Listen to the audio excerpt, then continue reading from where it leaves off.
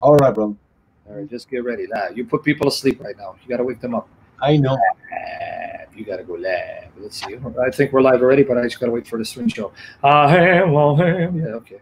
We are live, but remember, there's a 15 second delay. Live. Sorry, guys. Initially, we're going to start at 7 p.m., but then I moved at 7:30. Now we're back to the original time that I first announced. It's now close to 8 p.m. So, but we're live. May the Father, in union with His Son, the Lord Jesus, by the power of the Holy Spirit, be glorified. May the Father bless Usama Dakdok, fill him with the Spirit to glorify Jesus Christ by exposing the filth of Islam, this filthy Antichrist son of Saint Muhammad who needs to be exposed for the glory of Jesus. In Jesus' name, Father, have your way and bless your servant. So, guys, you don't need an introduction. You know who Usama Dakdok is? He was here previously. He's on again. I'm going to give him the main screen, and the and you're going to see his PowerPoint, and he's going to talk about women in Islam, why Muhammad is evil and his God is a false God, and why women need to be liberated from this wicked satanic religion in Jesus' name. So, remember, Usama, there's going to be a delay, but you can keep talking. Let me put your screen up and let me remove myself. All right. Well, praise God. Thanks for the time and all the wonderful audience we have tonight. Those who are watching live and those who are watching again in the and as they share it with others. We need the truth to be told. Women in Islam is one of my favorite topics. As a matter of fact, this is was this was my second seminar, which I put together a good uh, what 19 years ago, 18, 19 years ago. I don't know, some years ago and it is so powerful and uh, thank god for uh, that the truth still in it can be told even years later uh, as you see right now the straight way grace ministry this is the logo of our ministry here and uh, it came out of these two verses quran 1.5, as muslim pray to their allah the devil asking him to guide them to the straight way now the answer comes from the lord Jesus Christ himself, who says in John 14, 6, I am the way, the truth, and the life. No one comes to the Father except through me. And that's where the name, the straight way of grace ministry come. Uh, we're going to move on. Our, by the way, this is my beautiful wife, Vicky. And Vicky and I have been married now for 28 years. We're about to celebrate our 29th coming up. So keep us in your prayer. That'll be awesome. Now, uh, the, the, the, the most important thing about revealing the truth about Islam and the topic for tonight, women in Islam, is that we have to understand that there are two groups in the West where Islam is flourishing and growing. First, black Muslim men in prison. Second, white women outside in the world. And people have always asked me the question, that maybe one of the things which led me to put this presentation together. Why women in America are becoming Muslim? I mean, what is so interesting about Islam which causes the American ladies to become Muslim to the point I know personally for some women who left their husband, the American husband, and became Muslim, and they fall in love with that Muslim man and marry them. Why? A free American woman convert to Islam and become Muslim.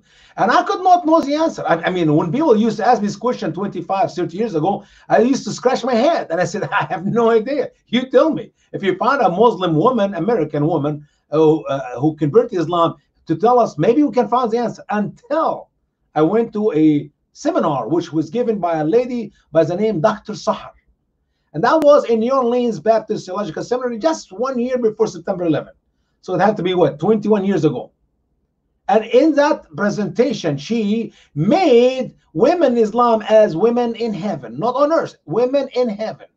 So I found that Islam is like heaven as she continued to talk in this presentation for a good hour, I, I was taking some notes, but then I stopped taking notes. I mean, what notes you take after the first 15 minutes? But the question answer session came, and I raised up my hand, and was another young lady in the front who raised also her hand. So she took the first lady's question, and the young lady stood up and she said, ah, Dr. Sahar, how can I become a Muslim? And I could not believe my ears. I mean, for after one hour of hogwash Islam, of course that young lady and every female in America should convert to Islam. So she said to her, Well, I'm glad you asked this question. And for you and all others who would love to convert to Islam after the, st the study is over, and by the way, that was in New Orleans, New Orleans University, a place you and I cannot go and speak in. Muslims speak every year days on different topics. But anyway, so she said, what I shared today, it was the truth. And uh, I'm glad that you want to become a Muslim. All those who would like to become Muslim after the meeting is over, we'll have a special meeting where we can say the Shahada and all become Muslim together. Then I stood up and I clapped my hand. And I said, excellent speech, Dr. Sahar.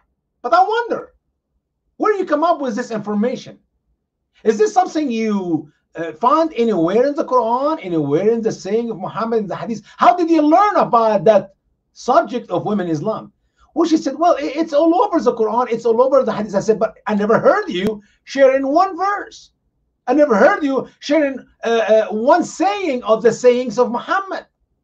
She said, well, if, if I will cover all this material with verses from the Quran, it will take forever. I only have an hour and I would like to answer your questions and stuff like that. I said, good. I said, I'm not surprised that young lady in the front, she would like to convert to Islam after she heard what I heard. As a matter of fact, if I'm a woman, I myself would love to say the Shahada and become a Muslim. So I said to her, would you mind if I share with you few verses from the Quran?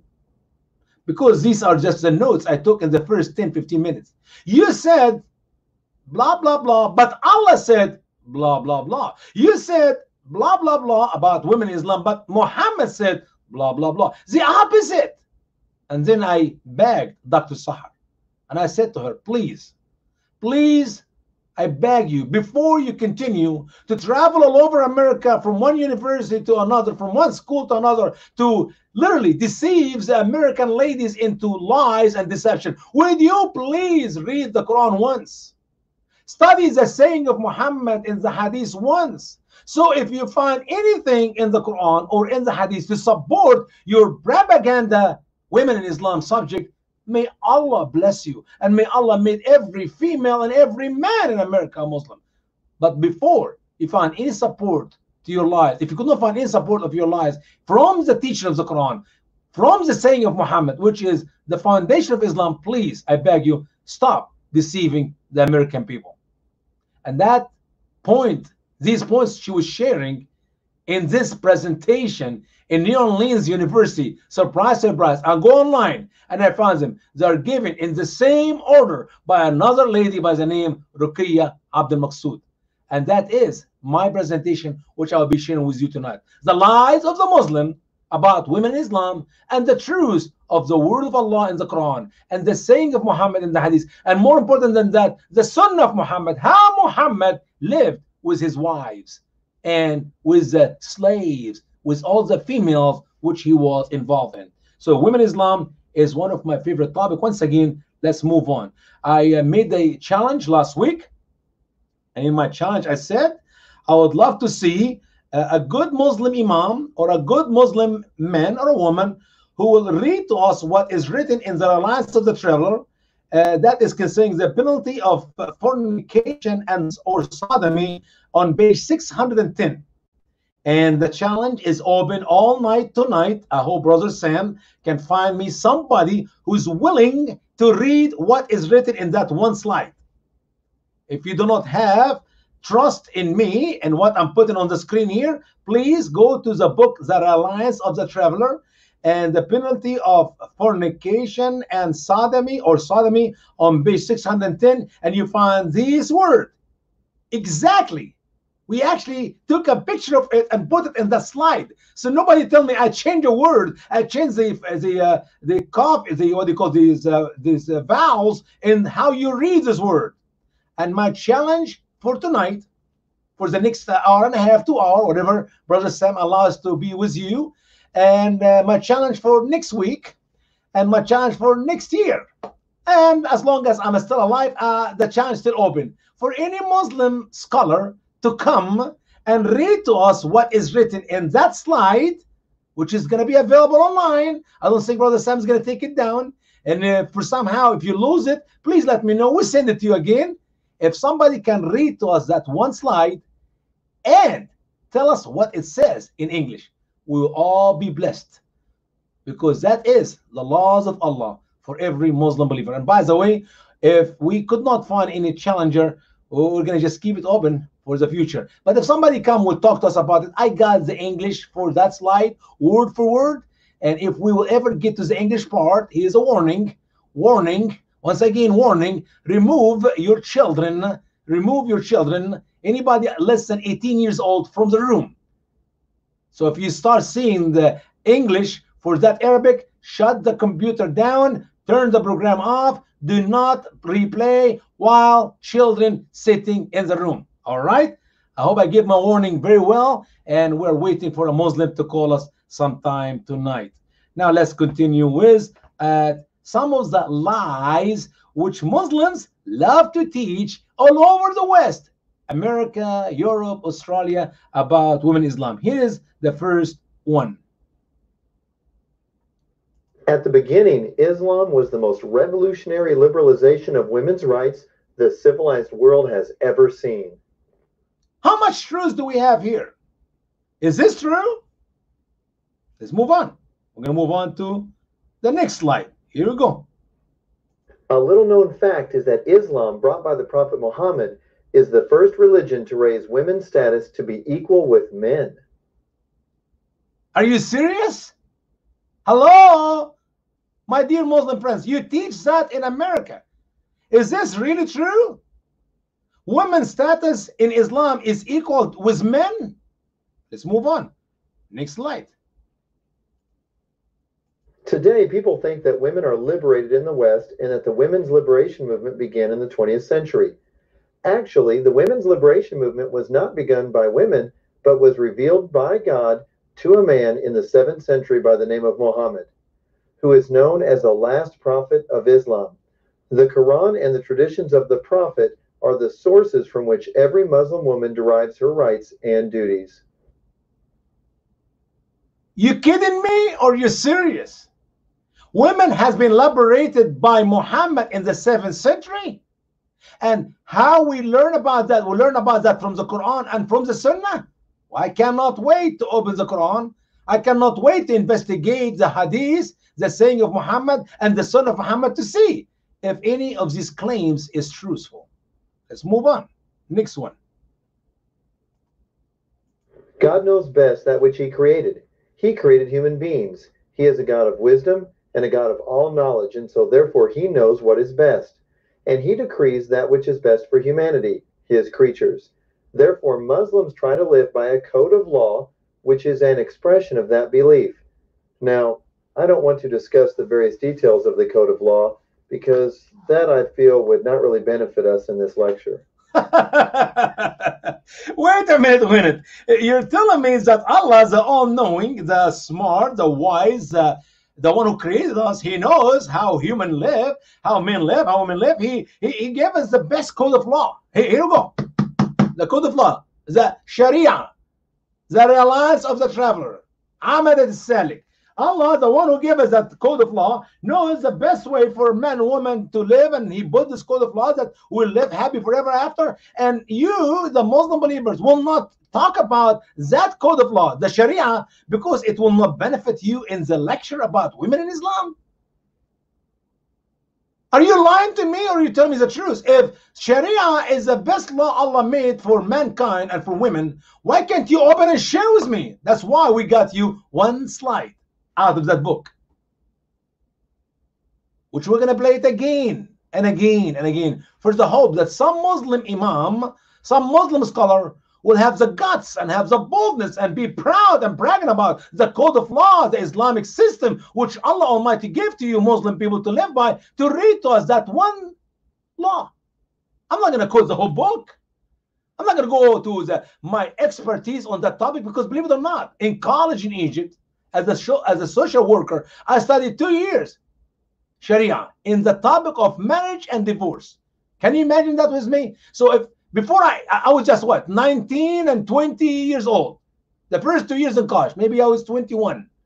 And I learned about Sharia. If I will share with you tonight concerning women in Islam, you will cry blood, not water. Literally blood. For every Muslim female and the abuse which Allah in that book, the book of Sharia, is given to every Muslim woman to live by. If there is any abuse, it's in that book for every female in the Islamic savage cult. But our uh, wonderful uh, scholars here will not will not tell us anything because it will not benefit them. It will actually destroy their propaganda and their lies about women in Islam. I want you to hear that story. Because guess what? That is the story of thousands and thousands of American female who were deceived by these lies we just heard about women Islam. So please listen carefully. I loved Asham. We met at college and dated steadily through my junior and senior years. With Asham, I felt like a princess. He showered me with gifts and treated me with a gracious chivalry that I hadn't known in any American man. He was thoughtful, considerate, ruggedly handsome, intelligent, and oddly spiritual. I did not give much thought to his devout Muslim faith. As a casual Baptist, I assumed that everyone who attended church, a synagogue, or a mosque was basically on the same track. His morality certainly seemed higher than that of the other white boys I had dated. We married in the summer and vacationed in his home country in a beautiful, majestic place with tall spires and rolling hills. At the mosque, I was bemused by the practices. Back in the United States, we settled into a routine of work, play, and eventually children. The changes in Asham appeared slowly. Occasionally, he became abrupt with me and our five year old son. He constantly sent money overseas supposedly to his family, and was secretive, especially when his friends came around. Every Friday, Asham took our son to the mosque, although I no longer went with them. Then one Friday, I discovered that Asham had left the country with our son. In the subsequent weeks, I discovered, to my horror, that myself and my child were considered Muslims, converted at least on paper. Thus, my son had to be raised in Islam. Because my rights to my child were minimal in his country, my child was gone and my life was forever marred. I did not know that I had joined a growing culture, a culture of white American women who marry foreign Muslim men. This is the sad story this is the end of the series of lies which Muslim given to our females in the West. And uh, by the way, I, I never heard these teachings anywhere in Egypt. I mean, I grew up in Egypt in this beautiful Muslim country with uh, 80 some million Muslim men and women. Never heard of that before. Why only in the West they have this message? Why we never hear about that in the Muslim world? Because they cannot lie against what is happening. Do you know that if these women and these men teach these lies in the Middle East, they will be killed by the Muslim believers because they will be destroying Islam. That's exactly the truth. This is the sad story which we see in America, sadly, and all over the West.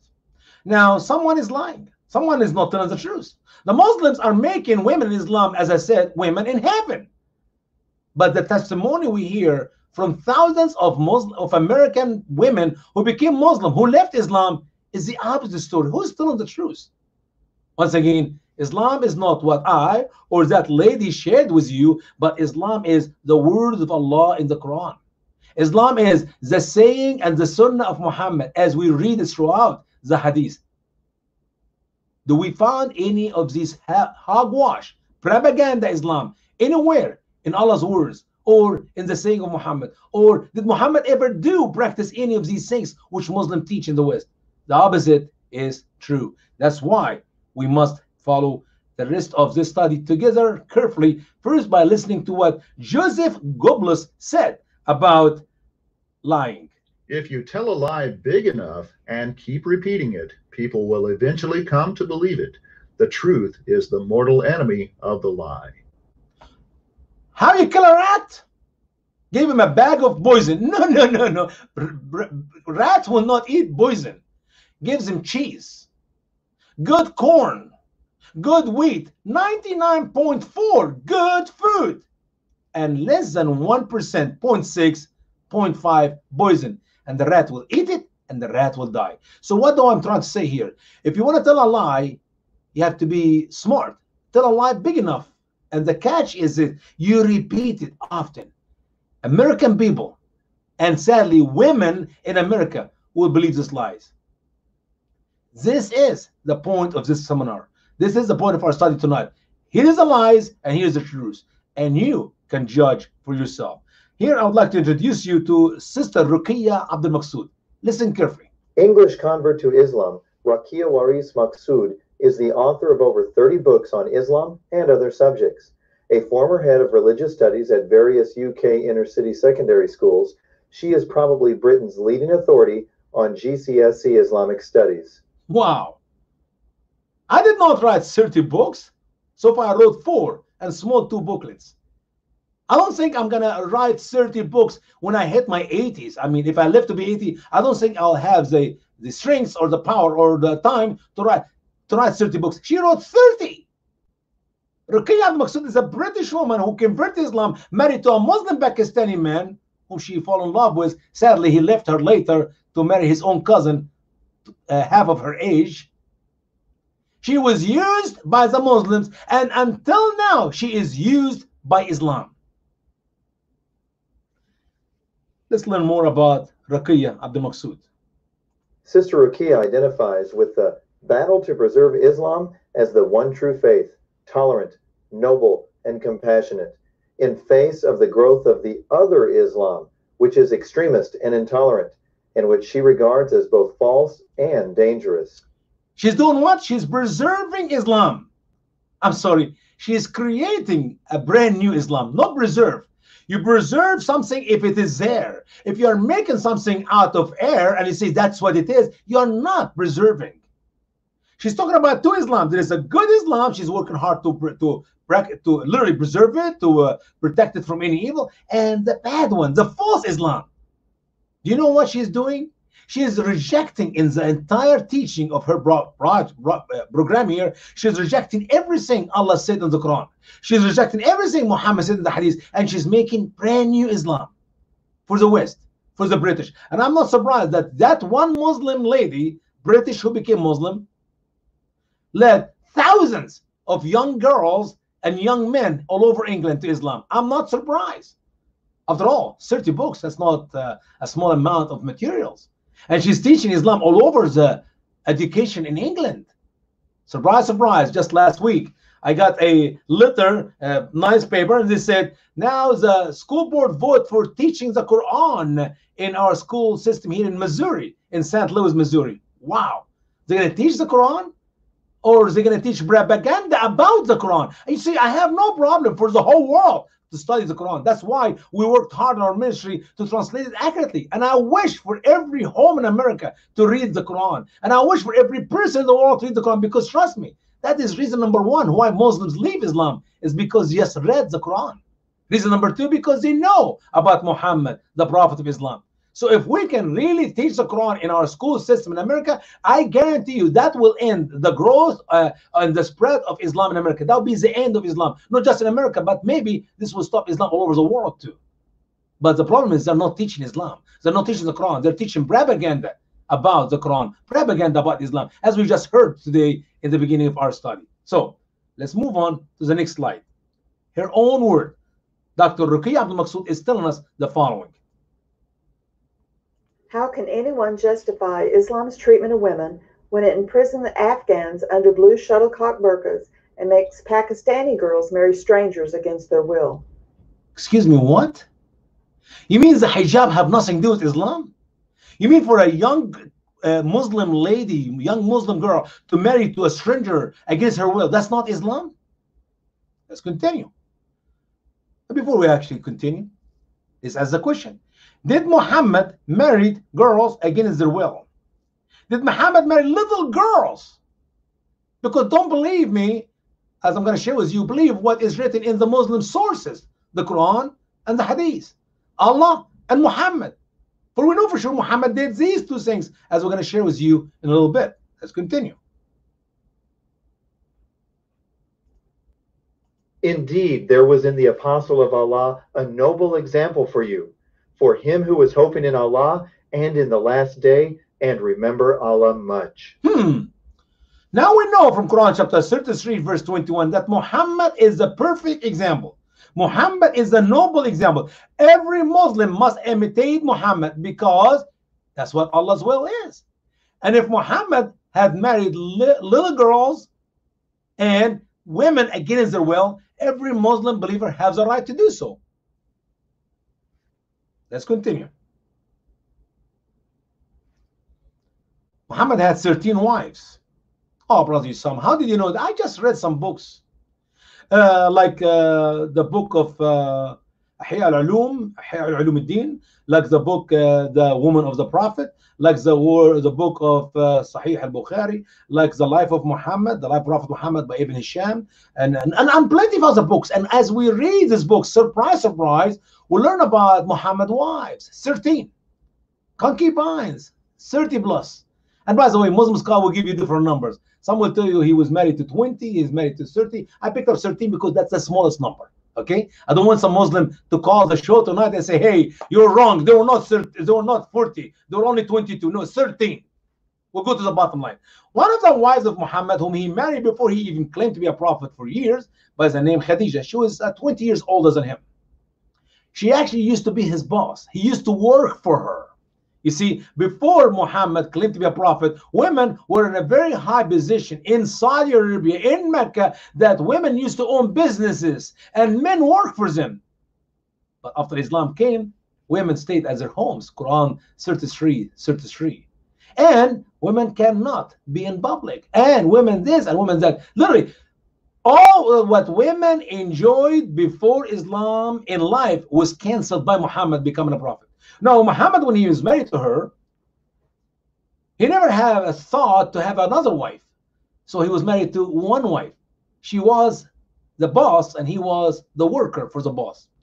Until Khadijah died, Muhammad never thought to marry another wife. But when Khadijah died, Muhammad married Aisha. And who's Aisha? Uh, she was uh, the daughter of Abu Bakr Siddiq. Uh, she was six years old when Muhammad married her. He was 51, and he was involved with her sexually at the age of nine, as we're going to show you as we continue our study. He was 60, he was 54, and she was nine. But we have a problem. Why? Muhammad is a, a, a busy man. He's a prophet, and he cannot have six years old child, you know, hang around his neck. That's why he married another wife by the name Sauda bint Zim'a. Sauda bint Zim'a, she was not attractive woman. She was not beautiful. She was not, you know, sexy woman. So he married her for one reason, and one reason which is he she would be the babysit for his beautiful wife Aisha.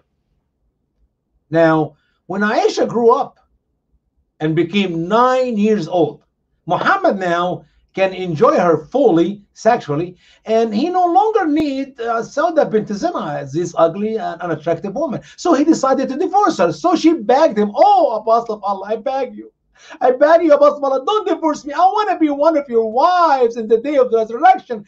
Please keep me as one of your wives." And I made you a deal. You see, I know how much you love your wife Aisha.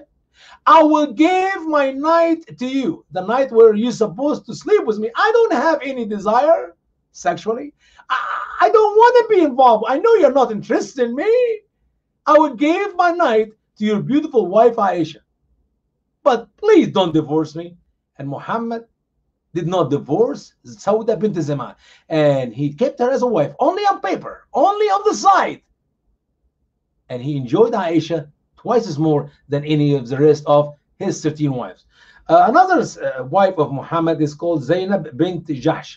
Who is Zainab bint Jahsh? Uh, we learn about it from the Quran, Quran chapter 33, beginning from verse 37, and every Muslim knows the story. She was actually the wife of his adopted son, Zayd. Uh, Zayd. And uh, Muhammad went one time to check on his son, Zayd, and on his wife. And uh, behold, it was a, a, windy night, and Zainab bint Jahsh was actually dressed in soft clothes, and the wind lifted up her clothes. Uh, we do not know exactly what Muhammad saw, but he saw something uh, draw his lust after her. Uh, you can use your imagination. So he said the statement, Subhanallah, muqallib al-qulub. How great Allah is who changed my heart towards you. I no longer love you as a daughter-in-law, but I love you as a man love a woman. So she said that statement to her husband, Zaid, when he came late at night.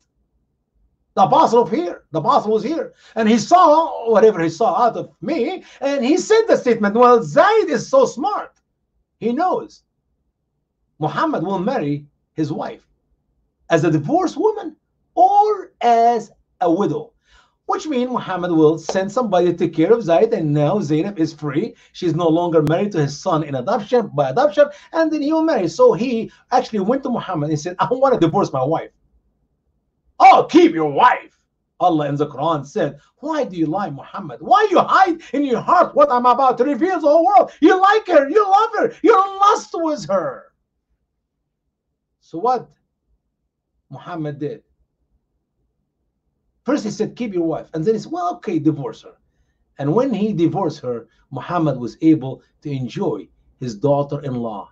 Shame on every Muslim who believe in the words of Allah in the Quran that there is no shame on Muhammad to be involved sexually to his with his daughter-in-law. Maybe you think I'm making this up. No, my friend, I'm not making this up. Here's the word of Allah in the Quran. So listen carefully what Allah said in Quran chapter 33, beginning from verse 37. And when you said to whom Allah had graced on, and you graced on, keep your wife to yourself and fear Allah. And you did hide in yourself what Allah would reveal. And you feared the people, and Allah is more worthy to be feared. Why Muhammad fears the people? Because it's a shameful thing, even in the wilderness of the Saudi Arabia, in the desert there, in the hot deserts, in the sand, where camel and people live together. It is shameful for a man to be married to his daughter-in-law. And Muhammad knew it. So he was hiding his heart, his lust after Zainab bint Jahsh, and he will uh, tell his his son, "Oh, keep your wife, man. Don't divorce her. Oh, come on, she's beautiful, she's nice. Keep your wife." No, he wanted him to divorce her so he can enjoy her sexually. Let's continue with the verse. So when Zaid had satisfied his desire from her, we married her to you, so that it would not be a shame on the believers to marry the wives of their sons. Don't you love how Allah make it easy for Muslim men to be married to the wives of their adopted sons? And by the way, we can talk about that some other time. Muhammad ended the adoption. One of the noble things, one of the great things which Arab practiced for years before Muhammad, which is adoption.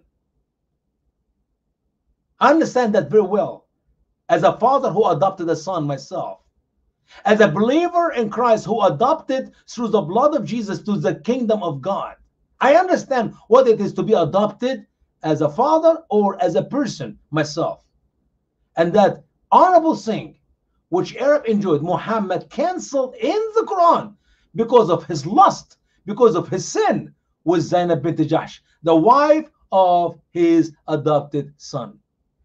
Can talk about that later some other time. But in simple word, shame on every Muslim who call himself a believer, who will be married to his daughter-in-law, to adopted son or not, because it doesn't make any difference. If you go to the book of Deuteronomy, if you go to the laws of Moses, as Muslims say, we believe in Moses, we believe in the Torah. They know not Moses nor the Torah. God said in the Bible, you should never do that. That's a sin punishing it is punished by stoning to death. As many sins, Muhammad made it lawful for Muslim to practice in Islam. Here, uh, verse 38, Allah said, There was no shame on the Prophet where Allah had ordained for him. The custom of Allah with those who have gone before and the command of Allah was a predetermined decree. Really? Where in the Bible we see that God said, because that's what Muhammad said, this is what the custom of the past. Where in the Bible we see it's okay for a prophet to marry his daughter-in-law?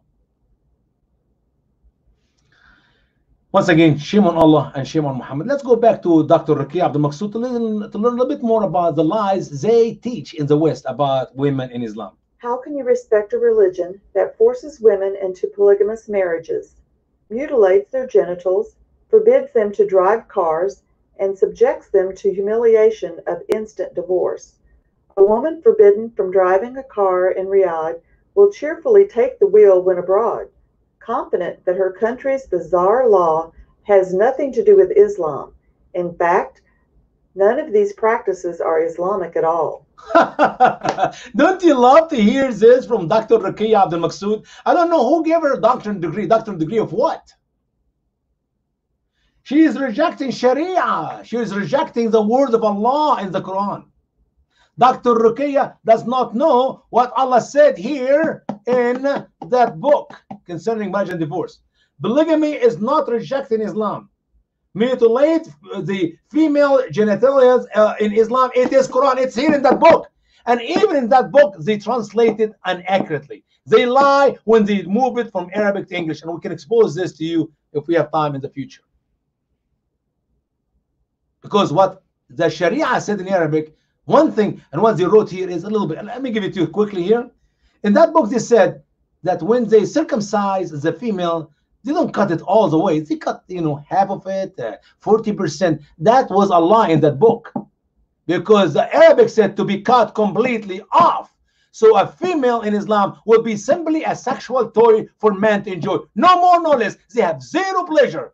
And uh, in Islam, they will tell you what is better for a woman to be uh, fully, uh, uh, uh, you know, enjoy her sexual activity and commit adultery or commit fornication and to be stoned to death or we cut it off and she have no pleasure so so she will never be tempted and she will never commit adultery so she will live she will live happy. She just have lots of babies lots of babies lots of boys and the husband will be happy and she'll have a happy joyful life. That's how sick the muslims are. Uh, instant divorce. You mean uh, in the Quran there is no instant divorce? Really? Uh, women cannot drive a car. You mean the Quran does not say for women to stay at their homes? Oh, Riyadh. See, in Riyadh, in Saudi Arabia, these bizarre laws is not Islam. Islam teach freedom. Islam teach liberty. Islam teach women and men are equal. And in Islam, a woman can drive a car. Are you out of your mind? Maybe you are, if you believe these lies. But thank God we got the Quran and we got the Hadith and we got the Sharia. We can open and see how much of these lies are truthful. Here we go. Let's get to the next slide here, according to Dr. Ruqayya Abdul Maksud, who said Afghan women educated before the Taliban rule know that banning girls from school is forbidden in Islam which encourages all Muslims to seek knowledge from cradle to grave from every source possible. I love it how Muslim like Dr. Ruqayya just make up stuff about Islam, and if you hear him and if you see them, they're very sincere. You can you couldn't even have a second thought or any doubt that what you're telling you, what they're telling you is truth. Taliban, what is Taliban? These are the bad radical Muslims. They're bad Muslims. Excuse me. They are the true Muslim believers who practice Islam. Do we see anywhere in the Quran Allah said for all Muslims to seek knowledge? All, all Muslims? Men, women? Did Muhammad say, teach your women and teach your men the same? As, as a matter of fact, there's no seeking knowledge anywhere in the Quran. If Muhammad would have the, the, the, the opportunity to write a couple more sentences in the Quran, as we know today how many errors all over the Quran, he will put a verse there do not teach your men or your women anything about knowledge. Because if they figure out the earth is not flat, I'm out. If they figure out the earth does the, the earth is moving around once every day and once every year around the sun, if they figure this out, I'm out because my false teaching is all over the Quran. So Muhammad will have advised the Muslim if he knows what's happening today, not to teach his children anything. When Muhammad taught them to teach their children, to teach their children to do what? To teach the children to ride horses, to swim, to use the spears, and to use the swords, and to use uh, all these old weaponry, which is known in his days, because he wanted to invade the world with his men, not girls now, men. But Muhammad never said, there's no one place in the Quran not one place in the hadith where Muhammad teach, uh, oh, all Muslims should seek knowledge from cradle to grave. Where? So, my dear Muslim, before you make up a lie, find a source to support your lies. Because it's easy for me to destroy all your lies. Because I know there's nothing about what you said is true. Let's see what Muhammad said in Kunuz al-Ulum. You know what Kunuz al-Ulum is? the um, the juries of knowledge. That's the word kunuz, Kins, it is like juries, uh, some uh uh, uh, uh, diamonds and gold and, and, and precious stone. kunuz. What is ulum? Science. The juries of science. Let's see what did Muhammad said in that book. Okay, here we go. Listen, listen. Do not let women into all of the rooms, and do not teach them how to write. Teach them to spin and recite Surah Al Nur. Don't teach your women how to write. I saw Dr. Ruqayya said, teach all Muslims. When all means what? Men, women, boys and girls, old and young. No, no, no, no. First of all, women cannot be moved from all over the rooms. That's why Allah said in Quran chapter 33 and verse 33 to stay in their houses. They don't go outside unless they're going to go potty. And then Allah said, What? Teach them to spin, make clothes, and to recite, to memorize Surah An-Nur. What is Surah An-Nur? That's Quran chapter 24. And we're going to be sharing with you a couple verses from that chapter tonight. So you know why Muhammad really want Muslim ladies to memorize that chapter. All right, let's move on uh, to Dr. Ruqayya, who stated, The Quran is addressed to all Muslims, and for the most part, it does not differentiate between male and female. Man and woman, it says, were created of a single soul and are moral equals in the sight of God. Women have the right to divorce, to inherit property, to conduct business, and to have access to knowledge. What is your source, Dr. Ruqayya? Can you help us and tell us where you come up with this great knowledge? First of all, the Quran is addressed to men, not to all Muslims, no, to men. Men and women were created from one soul. I'm going to quote you the verse, which is theological error in the Quran. Every human have his own soul. I have my own soul. My wife have, her own soul. Adam have his own soul. Eve have her own soul. Man and woman are not created from one soul. They're two separate souls. And then she said, God. Men and women are equal, are moral equals in the sight of God. How about in the word of God? First of all, capital G-O-D is not Allah. That is a lie. That is the biggest lie from the bottom of hell. When Muslims talk about God with a capital G, that is not true. They're talking about Allah. Small G-O-D, yes, no problem. But capital G-O-D, that's a lie. So in the sight of Allah, they're equal. But in the word of Allah, they're not equal. Wonderful. How did Dr. Ruqayya know that? Did she go inside God's head and see through his eye that men and women are equal? If man and women are mortally equal in the sight of Allah, they should be also equal in the word of Allah. But they're not. Now, she said women have the right to, listen, to divorce. Uh, that's a lie. Inherit property. Uh, that's not accurate. Yes, inherit, but not like men. To uh, conduct business. Before Islam, yes, when Muhammad was married to Khadija before he claimed to be a prophet, not after Muhammad became a prophet, and to have access to knowledge. Eh, how many wrong? How many mistakes we have so far? The five points she shared, they're all wrong. She's lying, and we're gonna prove it by the book, not from my head, but from the book. What book? Their books, the Quran and the Hadith. First of all, here's the verse she quoted from Quran chapter 4, verse 1, which is theologically error. It's not right. O you people, fear your Lord who created you from a single soul and created a wife from it. And from them he spread many men and women. And fear Allah, of whom you ask of him, and the wombs. Surely Allah was watching over you. First of all, men and women were not created from one soul. Adam's soul have nothing to do with Eve's soul. And here, zawjuha, zawjiha, zawjiha. No, the word wife here is wrong. Zawjatoh feminine, not zawjiha. Zawjiha is uh, her husband. He did not create from Adam soul his husband. Zawjato, the feminine from zawjiha.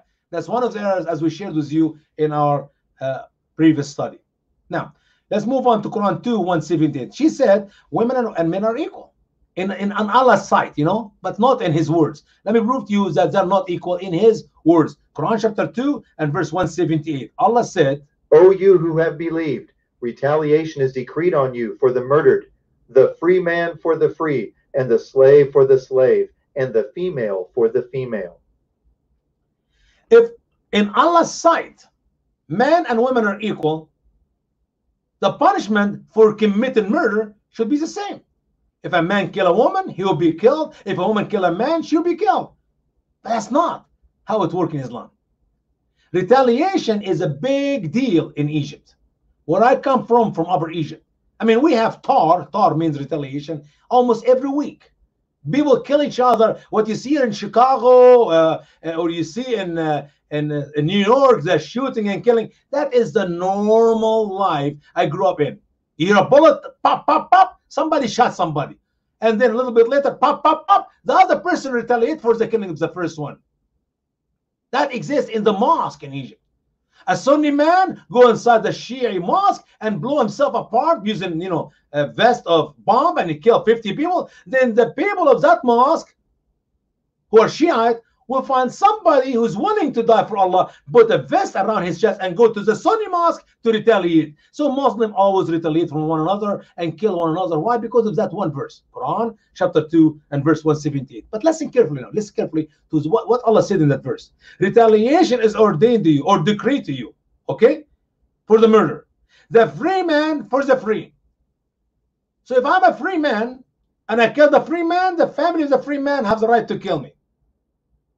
Now, if I'm a free man and I kill the slave, the owner of the slave have no right to kill me because a slave for a slave, which means the owner of the slave whom I killed will find a slave in my possession and he will kill him. And a, a female for a female. So if I killed somebody's wife, that somebody has a right to retaliate, not by killing me. I'm a free man. He will kill my wife and that is the most savage law is given for Muslim to live by and to practice retaliation. That's not the biblical teaching. The man who commit murder in the Bible, Old Testament, must be killed by another person hand. Or the woman who commit murder. It doesn't matter who you're killing. If you kill a slave or you kill a or you kill a, a free man or a free woman. No such a thing as you kill an innocent person for the lost to retaliate for the loss, for your own loss. That does not make any sense at all. But from that verse, Dr. Raqi Abdul Maksud, we know for sure that man and women and slave in Islam are not equal. Or why Allah said that you retaliate by killing equal to that which you lost, not by killing the person who commit the murder. Let's continue with Sahih al-Bukhari, and that is Hadith uh, uh, number 826 in volume 3. Muhammad said the following. Muhammad asked some women, isn't the witness of a woman equal to half that of a man? The women said, Yes. He said, This is because of the deficiency of the woman's mind. I saw it. The testimony of women equal to the testimony of men. That's Rakia told us that. But we get you another verse in the Quran a little bit later to cover the same point. But here we learn from Prophet Muhammad, may Allah's prayer and Allah's peace be upon him. He's telling us that women are stupid and Allah in the Quran said, two women equal to one man as a witness. Uh, so obviously these are not equal. Let's move on to another hadith by Muhammad, who Muhammad said, Muhammad said, if there is a bad omen in anything, it is in the house and the woman and the horse. women are bad luck. And I had no idea where Muhammad come up with this uh, to make women equal to horse or whatever. Anyway, let's uh, move on to um, this very important verse. What about if a man and a woman commit the same sin, the sin of uh, uh, uh, uh homosexuality, two guys or two girls? Let's see what is the punishment. The punishment for two guys. And for those who commit indecency among your women, so call four witnesses from among you against them so, if they testify, so detain them within their houses until death takes them, or Allah makes another way for them. Well, I'm sorry, I said to men, it's for two women. I got to have the uh, sound in the right order here. Two women commit uh, adultery, uh, lesbian lifestyle. You bring four witnesses, and they go in prison in their homes until they die. Or maybe Muhammad left. it. Allah come up with another answer later. For now, for now, Allah said, because Allah does not know what's going to happen tomorrow or next month or next year. Uh, for now, if two women live the lifestyle of lesbianism, uh, they being present in their homes. Now, what happened if two men did the same thing? What happened two men did the same thing, live as homosexual? And if two among you commit it, then punish them both.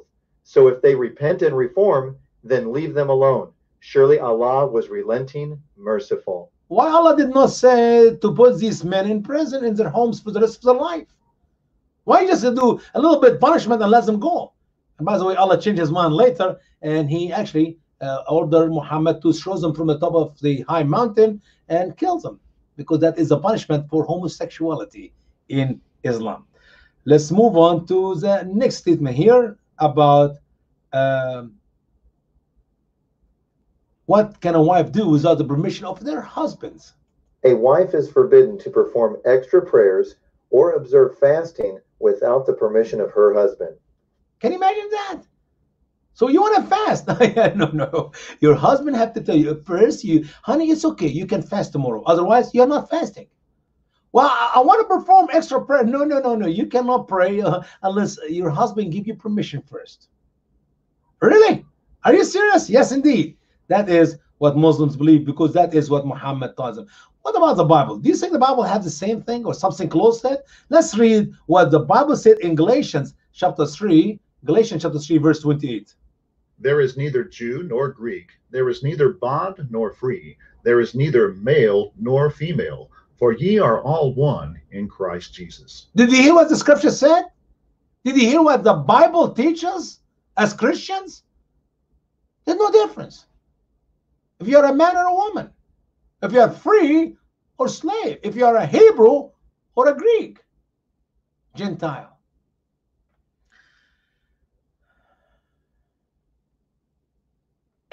Okay, she said men and women are equal. But Allah did not say that. In Quran chapter 4, verse 34, we read, Men are in charge of women because Allah preferred some of them above the others, and because of what they spend out of their money. So good women are obedient, guarding in secret that which Allah has guarded. And the rest of this verse will come a little bit later to learn how beautiful is the treatment of men to their wives in Islam. But for now, men are in charge of women. The, the Quran did not say there's no difference between men and women. No, he said men are in charge of women. Why? Because Allah made it that way. Allah prefer men over women. End story. After all, men working hard and provide for their family. You know that women can work harder and make twice or three or four times more than men? If that's the only reason, men and women should be uh, in a changeable position. In one other verse, women are in charge of men because they provide four times more than men can provide. No, Allah preferred men over women.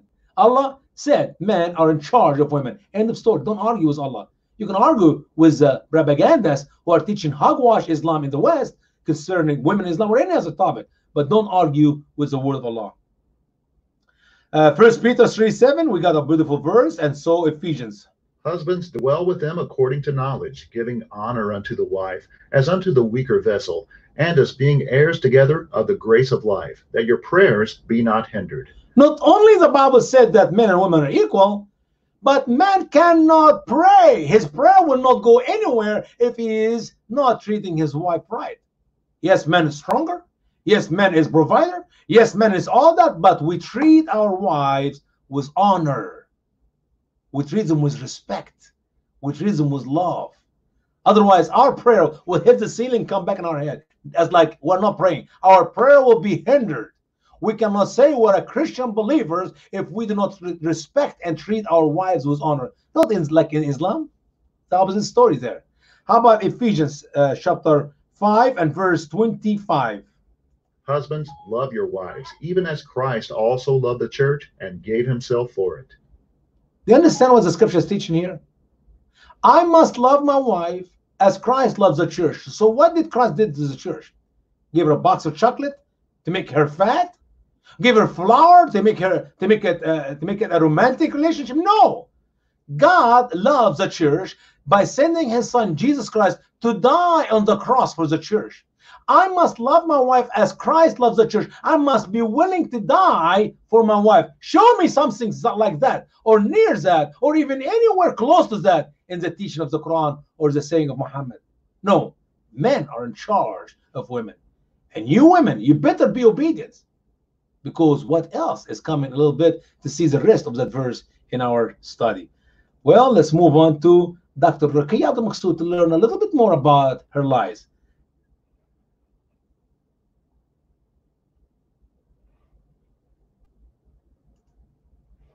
Here she said, Some of the commands are alien to Western tradition. Requirements of ritual purity may seem to restrict a woman's access to religious life, but are viewed as concessions.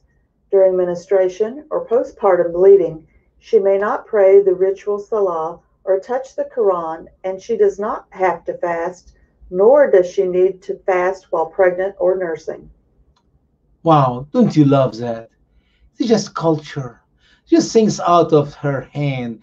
Uh, you know, things, uh, you know, just put this, ignore it. Do you know why women will not make it to paradise in Islam, as Muhammad said? Because they don't pray enough, because they don't read the Quran, because they don't fast enough. And Muhammad asked them to do more charities so that they can cover for their sins. The things which Allah puts them through cause them to go to hell. Allah is sending women to hell in Islam.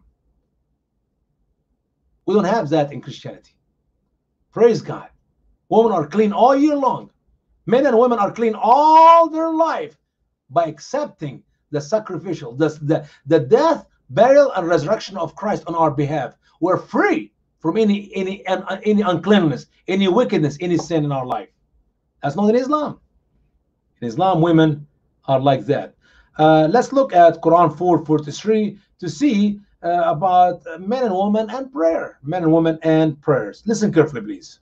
O you who have believed, do not come near the prayer while you are drunk until you know what you are saying, nor after sexual orgasm, except that you are merely passing by until you wash. And if you are sick or traveling, or one of you has relieved himself, or you have touched the women, so you did not find water, then rub your face and your hands with good dirt. Surely Allah was pardoning, forgiving. Muslim men, Allah speaks to them, you don't come to prayer if you're drunk, if you're unclean, you have to wash, you have to do all this good uh, wudu. But if you touch a woman, now you need to go back and wash.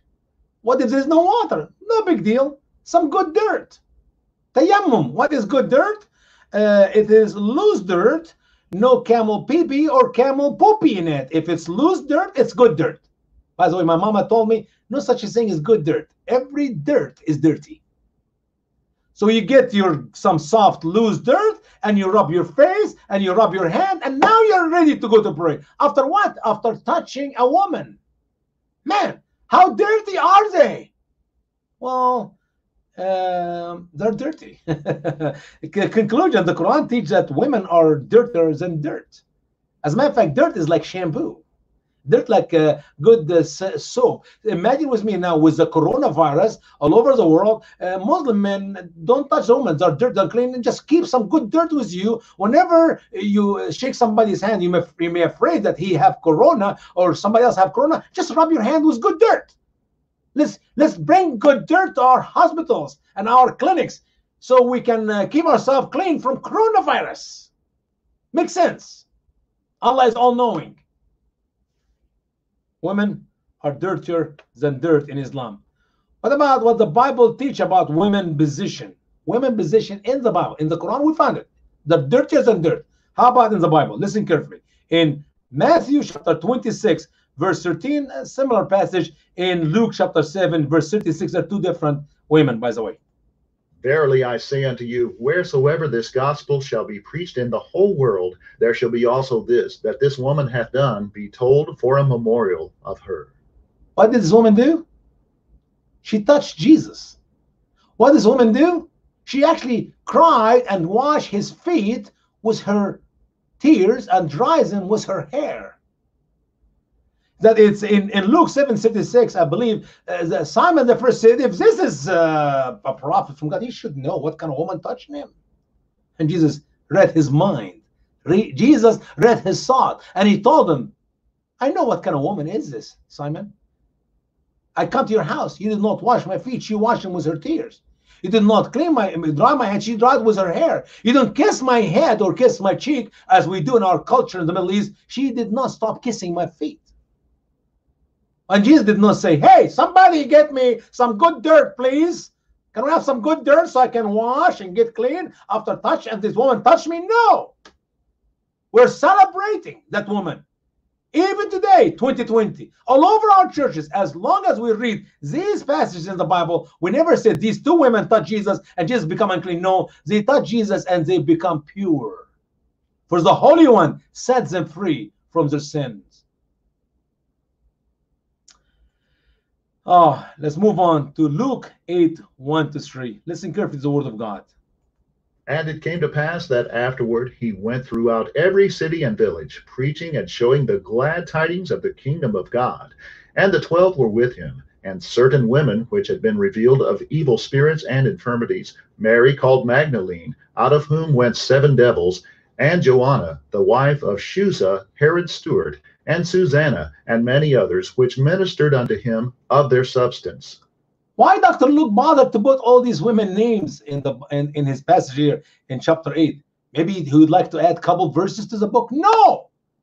He's telling us a position which the Holy Spirit gave to these women in the ministry of our Lord and our Savior Jesus Christ.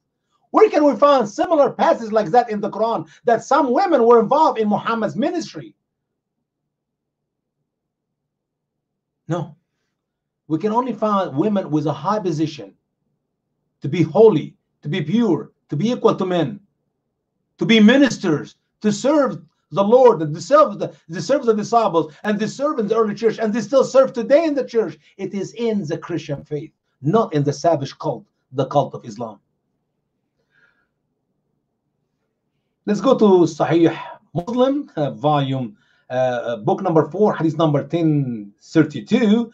Uh, Bukhari, hadith number 514, and many other locations. These hadiths are repeated all over, all over uh, the Muslim uh, books about Muhammad. Listen to what Muhammad said. Abdallah ibn al Samit said, Abu Dharr said, the messenger of Allah said, when one of you stands in prayer, what definitely constitutes a barrier for him is an object placed in front of him of the same height as the back of a camel saddle. If it is not in front of him, and of the same height as the back of a camel saddle, then some stray donkey, or some woman passing, or some black dog will cut off his prayer. I said, O Abu Dharr, what is it that makes a black dog different from a red or yellow dog? He replied, O dear cousin, I asked the messenger of Allah that exact same question. He said that the black dog is a devil. How do you like that, ladies? In Christianity, man and woman can hold hand and pray together. In Islam, if you touch a woman, you're unclean. You get get some good dirt, rub your hand and your face to become. No, in Christianity, women is respecting Islam is like that. You stand up to pray. Make sure there is something high, as high maybe a good what five five feet or so, five and a half feet. So if women go by, or a donkey or a black dog went by, it'll cause a prayer. See, the angels will not be in the room if a woman go by or a black dog. Why black dog? Demon possessed dog or a donkey. These are the three which caught the Muslim men prayer. A woman, a dog, black, black dog, or a donkey. That's why Aisha said, شبهتمونا بالكلاب والحمير. You made us like donkeys and dogs. All right, let's go back to Dr. Ruqayya to learn a little bit more about Dr. Ruqayya. Here we go. The veiling of Muslim women is a more complex issue. Very complex. Certainly, the Quran requires them to behave and dress modestly, Mhm. but these strictures apply equally to men. Only one verse refers to the veiling of women, stating that the Prophet's wife should be behind a hijab when his male guests converse with them. The subject is very complicated. I cannot even cover it tonight, ladies and gentlemen. We have to talk about it sometime in the in the near future. No, it's not complex. It's very simple. It's not one verse. There are two. It's not Prophet Muhammad wives, it's all women. You don't understand your Quran, sister. Maybe you need to read the Quran before you start teaching and write 30 books about Islam. If I have time, I would love to get these 30 books and read them and expose the lies in them because I promise you, there will be 30 a great subject to cover in the future of our ministry to expose all the lies of Dr. Ruqayya Abdul Maqsood. This is just one article I found online.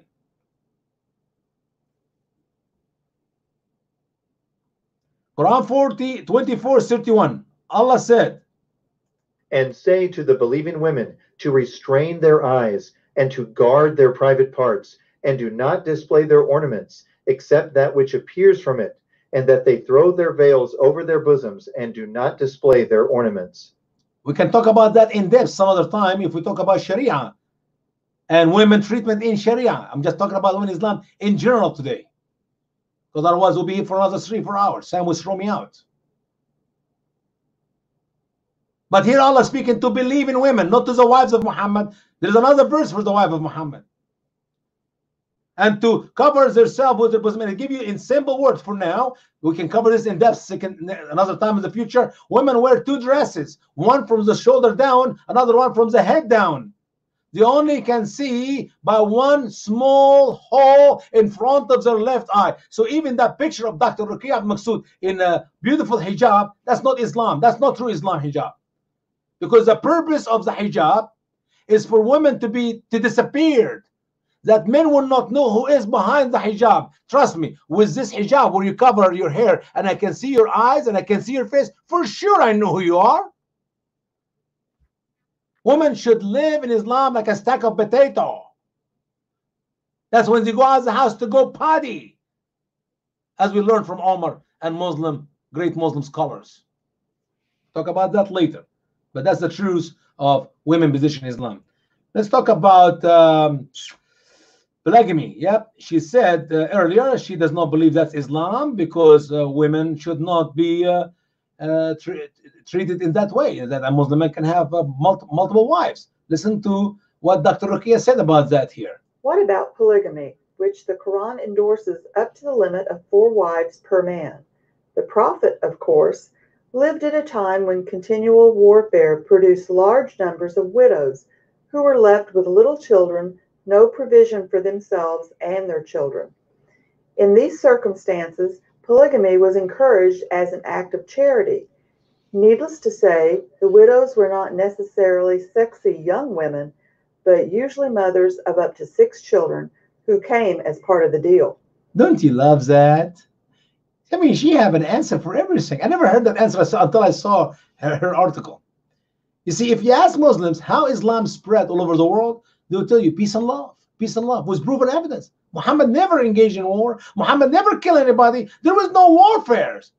But if you ask why Muslim women, why Muslim men can marry four Muslim women at the time, oh, brother Usama, you understand warfare and killing and, and, and all these women who lost their husbands, somebody have to take care of them. You see, Muhammad was uh, allowed the Muslim men to marry these women for as an act of charity, good deeds. I mean, think about it. These women have what? Uh, six, seven, eight children, and somebody have to take care of the children. Uh, it's not about they are beautiful or sexy. It's just charity work. Excuse me. Can't you feed women without sleeping with them? Does charity require having sex with them? And wait, wait, wait, wait. Where you come with the ideas that all these widows uh, were in their uh, 50s and 60s? I mean, where you come up with this? Let me remind you again. How old was Aisha when Muhammad married her? Uh, she was six years old, and Muhammad was 51. So I don't think in Muhammad days he used 50 years old men to go and fight. Most likely Muhammad used 20 years old, maybe 25, maybe 30 years old men. He's not going to use men in their 60s and 70s, almost uh, one, one step from going to the grave. No, he used young men. Do you think men in Muhammad days, in their 20s and 30s, will be married to older women who are just happen to be ugly, and each one of them have five, six children? Does this make sense to you? If Muhammad in his 50s married to a six years old child, I guarantee you that 20 will be still married to 10 or 15 years old child. You will not, no man in his 20 will be married a woman in her 50s. So the idea of charity is a joke. You don't have to sleep with them to feed them and take care of their children.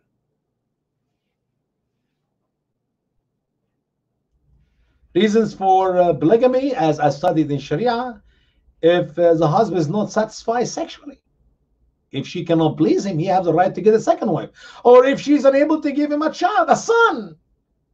You know how many millions of Muslim women were divorced, or the husband had the second and the third and the fourth wife because they could not produce for him a male? Not realizing that male, a baby boy or a baby girl, is controlled by the man's sperm, not by the, by the woman eggs. We can talk about that as huge error in the Quran in a future study. If Brother Samuel invite me back again to talk about that miracle of embryology in the Quran. Miracles. Let's talk about polygamy one more time with Dr. Ruqayya. She said, Polygamy is no longer common for various good reasons. The Quran states that wives need to be treated fairly and equally, a difficult requirement even for a rich man. Moreover, if a husband wishes to take a second wife, he should not do so if the marriage will be to the detriment of the first. Hmm, don't you love that? She's theologian. I mean, she's Allahologian, whatever you want. No theology, I don't believe it's Allahology. So she's Allahologian. She's making up new Islam for the world. We no longer have polygamy in Islam. Are you serious? Why your husband left you for the other young one? Have you were being obedient wife and live with Islam? Right now, you'll be a second wife, or third, or fourth. Polygamy is alive in the Muslim world. Lots of men in Egypt do it in secret because they don't want to cause trouble with their wives and their children. So they have a second wife and third wife and fourth wife. If they can afford it, they move to America. For sure, they have four wives. Thank God for warfare. Allah said you have to treat them equally. Yeah, it's very easy. Buy nothing to all of them. You don't have to buy one a car more than, and you don't buy the other one a car. Don't buy them anything. That is equally. Let's read the word of Allah in Quran. Quran chapter 4, verse 3. To learn about how Muslims are taught about practicing marriage in Islam, according to the Quran, Allah's words. And if you fear that you cannot deal fairly among the orphans, so marry what appeals to you from the women, two and three and four. So if you fear that you will not treat them equally, so one wife, or have sex with what your right hand possesses. This is near that you may not have hardship. Two or three or four. This is the law. That's what Allah wants. Two or three or four. And you have to treat them equally. That's fine. As I said earlier, don't buy anything, any, any of them. And by the way, Muhammad, the noblest example, did not treat his wife equally. Once again, he spent two nights with Aisha, while each and every one of the other wife one night, and his poor wife Sauda bint Zama, no nights at all. He never had sex with her. Does this sound like a noble example to you to follow? Eh, did Muhammad treat his wife equally? I'm sorry, he did not. Now, if you can't, I love it how Muslim stops there. So one wife, and they stopped there. They put a period after so so one wife. And he said, So if you fear that you will not treat them equally, so one, so one, but one wife is not there, period. No, because that's not the end of the verse. And because what we read after that, or have sex with what your right hand possesses. How many? Unlimited. Yeah, you have one free Muslim woman and 20, 30, 40 slave and concubines. How do you like it, lady, if your husbands have 30 slaves next to you? He only marry you. He just have 30 other ones to have fun with in the side. Quran 65 4. Let's learn about marriage, the age of marriage in Islam. The age of marriage in Islam.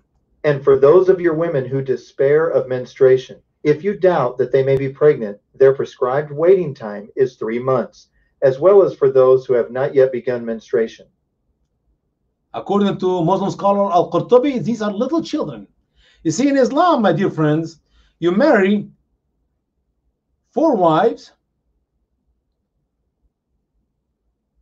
You can divorce all of them, replace them on other wives.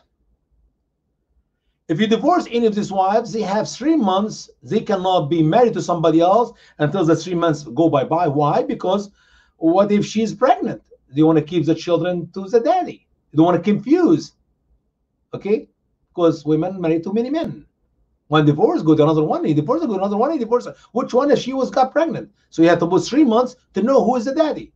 The same law was given to these women also for those who have not yet begun menstruation, little children. So if a Muslim man married to a little child, abused a little child, that little child cannot be, and he divorced, that little child cannot be abused by another husband, another guy, unless three months go by by. Why? Because what if she's pregnant?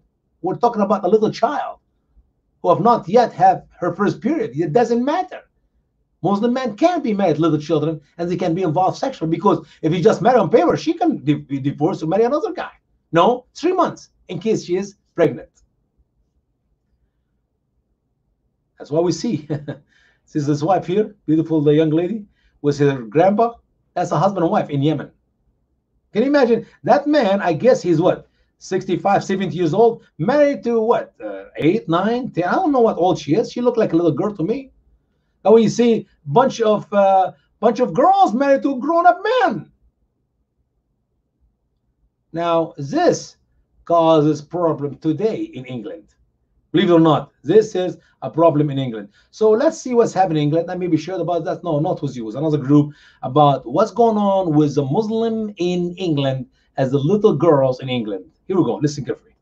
Now, another town this week joined the list of shame where sex gangs have roamed seemingly unchecked to prey on girls as young as 11, raping, drugging, beating, trafficking, and potentially even murdering them in the process.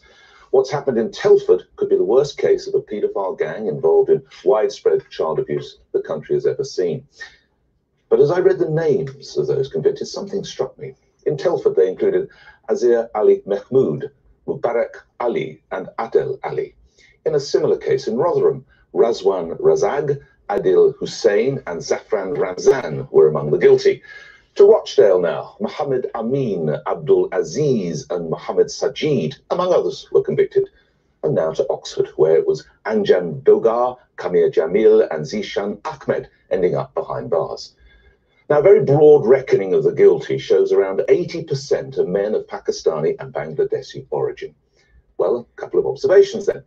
Why do they appear to view white girls as objects to be traded and even disposed of?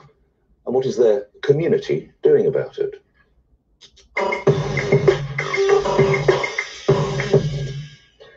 Nick, this is a tragedy that's been going on up and down the country.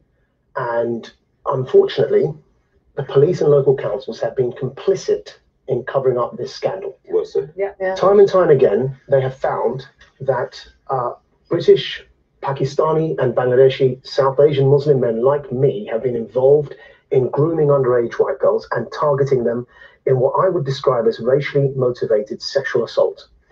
And for fear of racism, the local politicians for fear of losing votes and the police for fear of being sacked by those local local politicians have been hiding this situation. And of course then it led to a national inquiry. We know that because the conclusions of the national inquiry were the same. I'm going to read to you something because telford could could well be worse than what happened in rotherham rotherham and rochdale. And yet still despite that we have the uh, the superintendent for telford and Wrekin tom harding saying the following. He said that um, what I would say is sexual offending across Telford and Wrekin is virtually identically proportionate to the breakdown of society. So it's not one particular section over others. Forgive the language, the French, but this is total BS because it's confusing two types of sexual offences. Uh, we as Quilliam looked into this, and I'm going to come to the stats in a I know you've done a lot of and you've done a lot of broadcasting. You're, Of you're a course. real in this area. I have to say, salute what you've done. Thank you. Ty- type one, type one is the grooming of underage white girls, or any girl generally is type one as a category. The grooming of underage girls by gangs of men. Now, in type one, where is where the, where the, where the grooming gangs are involved, it was found in our research that we found. I'm going to put this up on the screen for you. That 84% of those involved in type one, which is gang grooming of underage girls, were what it says there, South Asian. To be specific, they were Pakistani and Bangladeshi Muslims. Right. Type two, which is hate to use the phrase ordinary paedophilia, what we normally understand by the word paedophilia, is representative of wider society. So one statistic found it was about 87% in type 2, which was pedophiles, 87% were white. Another found 100% were white. But of course, that's not surprising because the vast majority of the country is white. What's interesting is the disproportionate figure of 84% uh, hailing from my background. Why that's interesting is because roughly only 2% of the country are Pakistani and Bangladeshi Muslim men who are responsible for 84% of collective grooming of underage white girls. Now, don't misunderstand Mr. Maajid Nawaz here because he may think he's a Christian guy or a Jewish guy or an Atheist guy. No, he's actually a Muslim believer. He's a Muslim reformer. He's doing everything he can to reform Islam, like what we have here, uh, Zuhdi Jasser or uh, some of these wacko Muslims in America, who they think they can change Islam. What he's saying here is not the problem. The problem here is not the problem of Islam. The problem is the social uh, uh, problem, culture problem, some other problem, but have nothing to do with Allah or Muhammad. By the way, Maajid Nawaz's name was added to my list of names by the SPLC, the Southern Poverty Law Center. But he have money uh, because they called him Islamophobe, as they call me Islamophobe, and he was able to sue them, and he won his case against them. He made 3.5 million dollar, and they wrote him a beautiful apology. It's available online. You can go and read it. They apologized to him.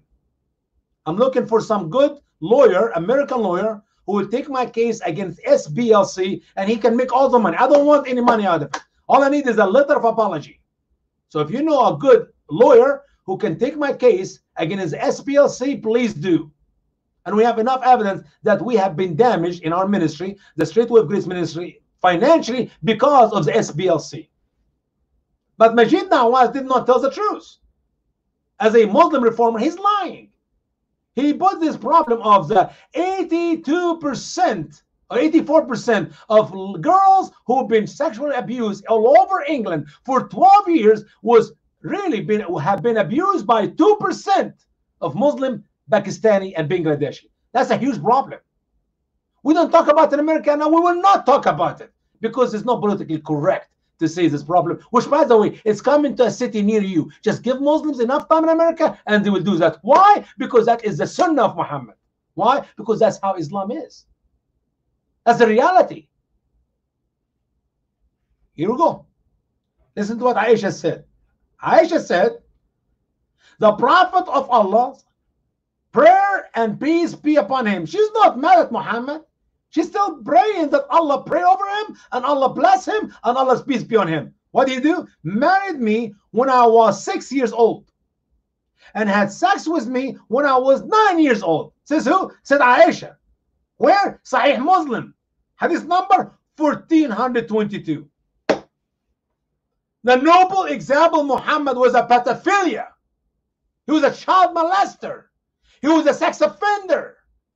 And that's why Muslims Pakistani and Bangladeshi know how to practice the same sunnah, the same way of life with the British young girls, 9, 10, 11 years old. And this is coming to a city near you. Just give the Muslim enough time. Welcome to Islam. What did the Apostle Paul said in Ephesians chapter 5, verses 31 to 33 concerning women's position in marriage in Christianity now? For this cause shall a man leave his father and mother, and shall be joined unto his wife, and they two shall be one flesh. This is a great mystery. But I speak concerning Christ and the church. Nevertheless, let every one of you in particular so love his wife, even as himself. if a Muslim man love his wife as he love himself, he should allow her to have four husbands. He should allow her to do all the things which he allowed himself. But that's not what we find in Islam. This only exists in Christianity. Let's talk about sexual intimacy. And Dr. Ruqayya is going to teach us something really, really important about sexual intimacy. Listen carefully. Sexual intimacy outside marriage is forbidden in Islam, including sex before marriage, adultery, or homosexual relationships. However, within marriage, sexual intimacy should be raised from the animal level to sadaqah, a form of worship, so that each considers the happiness and satisfaction of the other rather than mere self gratification. Don't you love that? You see, in, in America and in the West, people live like animals. I'm sorry. even me, even men and women in America who are living together without marriage, boyfriend and girlfriend, they're living in a pure relationship, not like we see it in Islam. In Islam, it's not sadaqah, it's not good deed to have sex with your wife. In Islam, it is they're living like garbage. They're living immoral. Once again, if there's a Muslim would like to translate for us the first slide, I'm going to put it again in the end here. I'm looking for somebody to tell us how beautiful and how pure and how sex in Islam is sadaqah. It's good deed, like uh, helping the poor. Uh-huh. Each other. A man will have sex with wife to please her. How can she be pleased when she have zero intimacy? When she have zero good feeling in bed because she's already been circumcised by Allah and Muhammad. How can a woman enjoy sex in Islam? Somebody help me out here. Oh, it's culture. It's not culture. It is in the book. It is Sharia. It is Allah's word. It's Muhammad's teaching.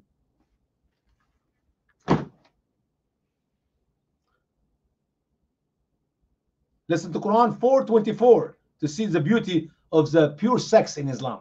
And married women are also forbidden, except all that your right hand possesses. This is the decree of Allah for you, and it is lawful to you, besides this, to seek out women with your money, chaste without fornication. So whatever you enjoy by it from them, so give them their wages. It is an ordinance, and there will be no sin on you about what you have mutually agreed on after the ordinance. Surely Allah was knowing, wise. So in Quran 4:23, there's a list of all the women whom Muslim men can have sex with.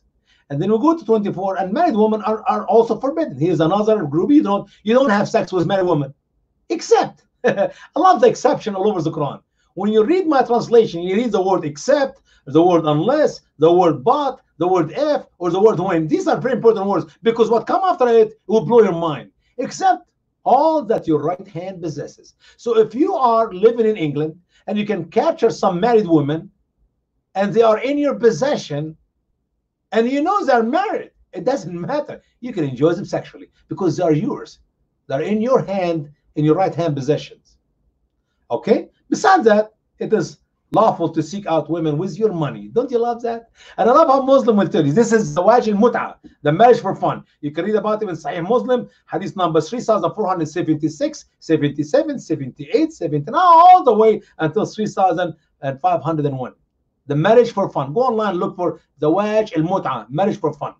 And Muslim will tell you, well, that is the truth. This is only what Shia practice. Why is that? Because Muhammad forbid it. Well, tell me more about it. When did Muhammad forbid it? Well, Muhammad allow it, and then he forbid it. And then he allowed the second time, and he forbid it the second time, and he allowed it the third time, and he forbid it the third time, and then he never allowed it again. Says who? Well, Muhammad said so. Really? Your Muhammad allowed women, allowed your Muslim men, the early fathers, to enjoy themselves sexually by prostitutes?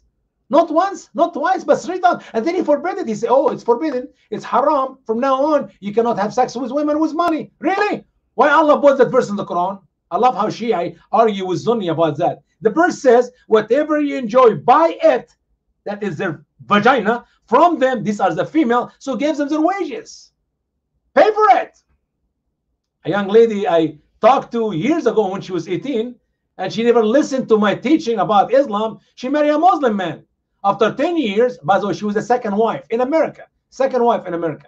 After 10 years, she divorced him.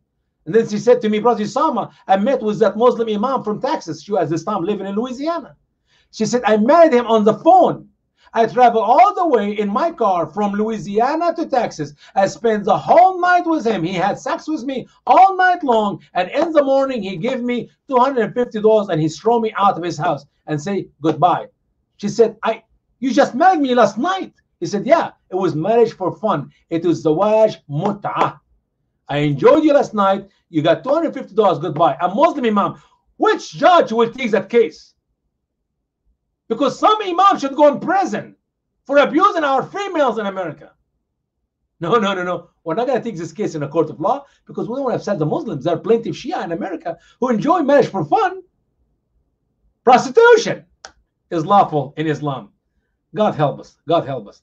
So I'm sorry when Dr. Ruqayya told us that marriage is uh, uh, sexual intimacy is pure, it is like good work, it's sadaqah. I'm sorry, that's garbage. That is garbage. Let's move on. Muhammad, uh, the Prophet of Allah, allow men to enjoy women for money. That is prostitution. And you can go and read all these hadiths. Bukhari, Sahih Muslim, the book of Nikah, and blah, blah, blah. Enough garbage there. Now, listen, listen to Quran chapter 24, verse 33 to see the purity of the sexual relationship in Islam. Listen. And do not compel your young females to become prostitutes if they want to keep chaste, so that you seek the material of the world's life. And whoever compels them, so surely after they were compelled, Allah is forgiving, merciful. Don't force your young females. These are the slaves. Don't confuse this with that. These are not their daughters. Uh-huh. These are the slaves. Don't force the slave to become prostitute so you make money. But if you force them, Allah, here is the word but. But. so if you force them, or if you force uh, but if you force them, you know what? Allah is forgiving, merciful. Yeah, Allah is forgiving, merciful. That's why ISIS were selling the Christian and Yazidi young girls for money. And the other Muslim rich men were marrying them. Oh, no, I'm sorry, were buying them. To do what? To use them as prostitutes. To make money. It's a good business. Allah is blessing the Muslims in Islam. Quran 4, 24. By the way, here's 24, 33. The verse which in the book of Surah An-Nur, which Muhammad want women to memorize. Yeah, makes sense. Makes sense. Let's see what Dr. Ruqi also said about about uh, marriage in Islam and uh, the difference between Islam and uh, and Christianity concerning divorce. Contrary to Christianity, Islam does not regard marriage as made in heaven or till death do us part. They are contracts with conditions. If either side breaks the conditions, divorce is not only allowed, but is usually expected. Nevertheless, a hadith makes it clear that of all the things God has allowed, divorce is the most disliked. Allah hate divorce. But he allowed divorce. Well, if Allah hate divorce, why he allowed divorce? It's a contract. I studied that contract in school. Trust me, I know everything about that contract. We can talk about it for another hour. And in the contract, you say, here's the down payment, and here's how much money I'm going to be paying you uh, as uh, as uh, the late payment after divorce. It's all written, but it's not if every is uh, uh, if they both no. Uh, if he said, till death take us part, they are contract with condition if either side breaks the condition. No, no. If a woman breaks the condition, a man can break the condition. A woman cannot control the man with this contract of marriage, but a man controls the woman with that contract of marriage. Divorce is allowed. Let's continue with Dr. Ruqayya, who said, A Muslim has a genuine reason for divorce only if the spouse's behavior goes against the Sunnah of Islam. In other words, if he or she has become cruel, vindictive, abusive, unfaithful, neglectful, selfish, sexually abusive, tyrannical, perverted, and so on. If that's the case, there will not be one couple in many of the Muslim world. It's not spouses, it is the wife. If she, if she, if she do any of that, she will be divorced, not if he or she. Man, she's an English teacher. She knows how to use her words very well in that presentation. Let's continue. In good Islamic practice, before divorce can be contemplated, all possible effort should be made to solve a couple's problems. After an intention to divorce is announced, there is a three month period during which more attempts are made at reconciliation. Don't you love how she make a brand new Sharia? This is brand new Islam. That's not what I studied in college in Egypt. That's not what Allah said in the Quran. It's propaganda. So they do everything they can not to get divorced. And there's three divorce, three times. No, no, no. I'm going to teach the truth about divorce. Let's get one more slide from her, and then we will share with you the truth about what the Quran said. Quran chapter 2, verses 229 and 230. If by the end of each month the couple have resumed sexual intimacy, the divorce should not proceed. The three month rule ensures that a woman cannot remarry until three menstrual cycles have passed. So, if she happens to be pregnant, the child will be supported and paternity will not be disputed. She's trying to tell us there is no instant divorce, as she said earlier in her study. And she tells us that these three months gives a man and, uh, the, and woman the time to fix their marriage. No, these are long. These are lies. The three months in case she's pregnant. That's the only thing. And divorce in Islam is instant, immediately. The man, the moment the man will tell his wife, You're divorced, the divorce is over. You didn't even have to say you're divorced. You can say some other words, like the word you're divorced, like you're not laughing for me. I'm not laughing for you. We're no longer love for each other. This marriage is over. Any of these words end the divorce on the spot. What about the three months? The three months in case the man change his mind and he want to have her back, or in case she's pregnant by his child. That child have to go to the daddy, not to the mama. That's why Muslims in America are working so hard to force Sharia in our courts. Why? Because then the fathers, the Muslim men, will take your daughters and your sons away from you, and you have nothing to do about it. Because children belong to the daddy, not to the mother in Islam. And that goes against our system and our laws, our constitution in America. Here's the word of Allah Quran, chapter 2, verse 229, and then we're going to read uh, verse 230. The divorce is twice. So keep them in fairness, or put them away in fairness. But it is not lawful for you to take what you have given to them of anything unless they fear that they cannot keep the limits of Allah. What do you mean the divorce is twice? Yes, I can divorce my wife. You're divorced, she's out, it's over. Now, within three months, I can bring her back. And then I can divorce her again. And then within three months, I can bring him back. What happened if I divorce her the third time? Listen, here we go. The word of Allah will give us the answer. Quran chapter 2, verse 230. Allah said, So if he divorces her a third time, so it is not lawful for him to take her again until she has sex with another husband. So if he divorces her, then there will be no sin on them if they return to each other, if they think that they can keep the limits of Allah. And these are the limits of Allah. He shows them to people who know. You know what garbage is? You got it. The word of Allah in the Quran is garbage. It is immoral. It is insane. So if I divorce my wife the third time, I can no longer have her back. What I do, I found something it's called al muhallil. They make movies about it in Egypt. They're mocking their own Quran without knowing it is Islam teaches. What is a muhallil? I call my buddy, grab my phone. Uh huh. Here's the phone. Hello. Muhammad, my brother, how are you? Assalamu alaikum. Hey, man, I need your help. I trust you. You're my special friend, and I trust you so much. I, I really need your help. You will, I, I, but I trust you. Hey, man, last night I got mad at my wife and I divorced her. It was my third time. Will you please help me? Muhammad, you're my buddy. I love you and I trust you, man.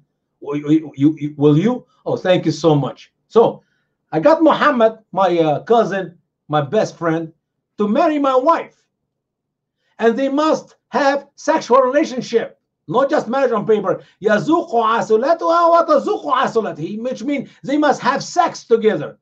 And if Muhammad really, really love me and I trust him, and, and, and I trust him, if he divorced my wife in the morning, then I can have her back. How do you like that, America? How do you like that, Dr. Ruqayya Abdul Maqsood? I could no longer marry my wife after the third divorce until I found somebody to sleep with her after marriage, of course. And if he divorced her, I can marry her back.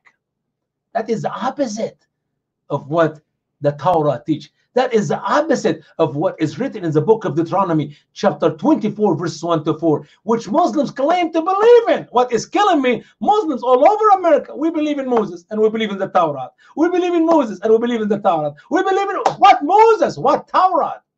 If you believe in Moses and his Torah, you're going to reject your Quran. You're going to reject your Muhammad. You will leave Islam. Here's what Moses said, which obviously the word of God in the Bible. When a man hath taken a wife, and it come to pass that she find no favor in his eyes, because he hath found some uncleanness in her, then let him write her a bill of divorcement, and give it in her hand. She may go and be another man's wife, And if the latter husband hate her and write her a bill of divorcement, or if the latter husband die, her former husband may not take her again to be his wife, after that she is defiled, for this is an abomination before the Lord. The opposite message of the Quran, the word of Allah. If I'm married to my wife and I divorce her, she take her book of divorce and she go marry another husband. If the new husband died, or if the new husband divorced her, I can no longer have my wife because that is abomination before the Lord. What the Bible call abomination, Muhammad calls the lawful thing. The lawful thing. And they tell me that Islam have purity and the intimacy in Islam is not like animals. If that's not animals' lifestyle, what is animals? Oh, only man can divorce a wife. Of course, the teaching of the Quran is very clear about that uh, a wife cannot ask her husband to divorce her for any reason. uh, uh, otherwise, she actually will spend eternity in hell. They will spend eternity in hell. All right, let's move on to uh, Matthew 1936. Uh, the Bible very clearly teaches that uh, a man should not divorce his wife, and what God joined together, not not not let not any man uh, separate.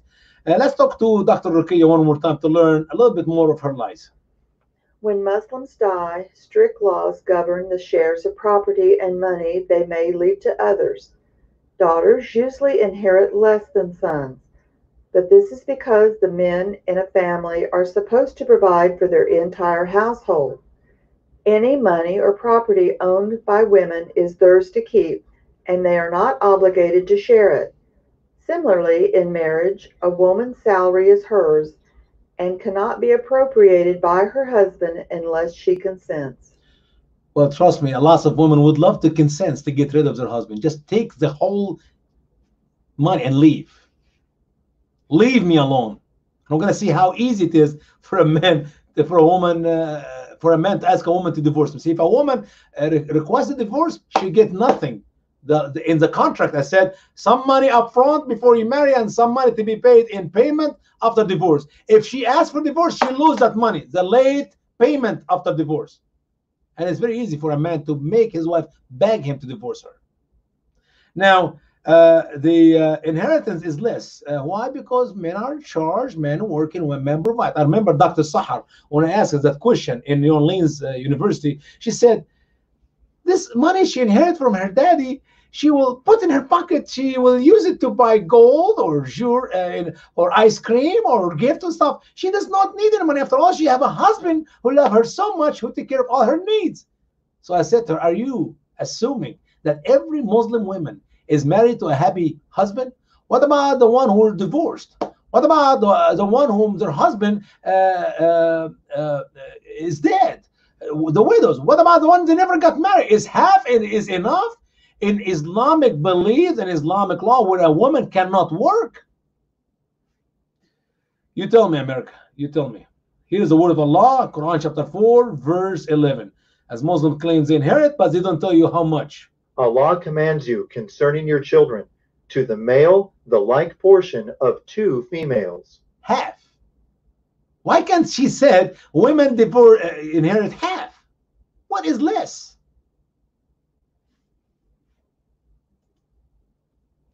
Here's the law in Saudi Arabia. You may think I'm making it up. I'm not making it up. Here we go.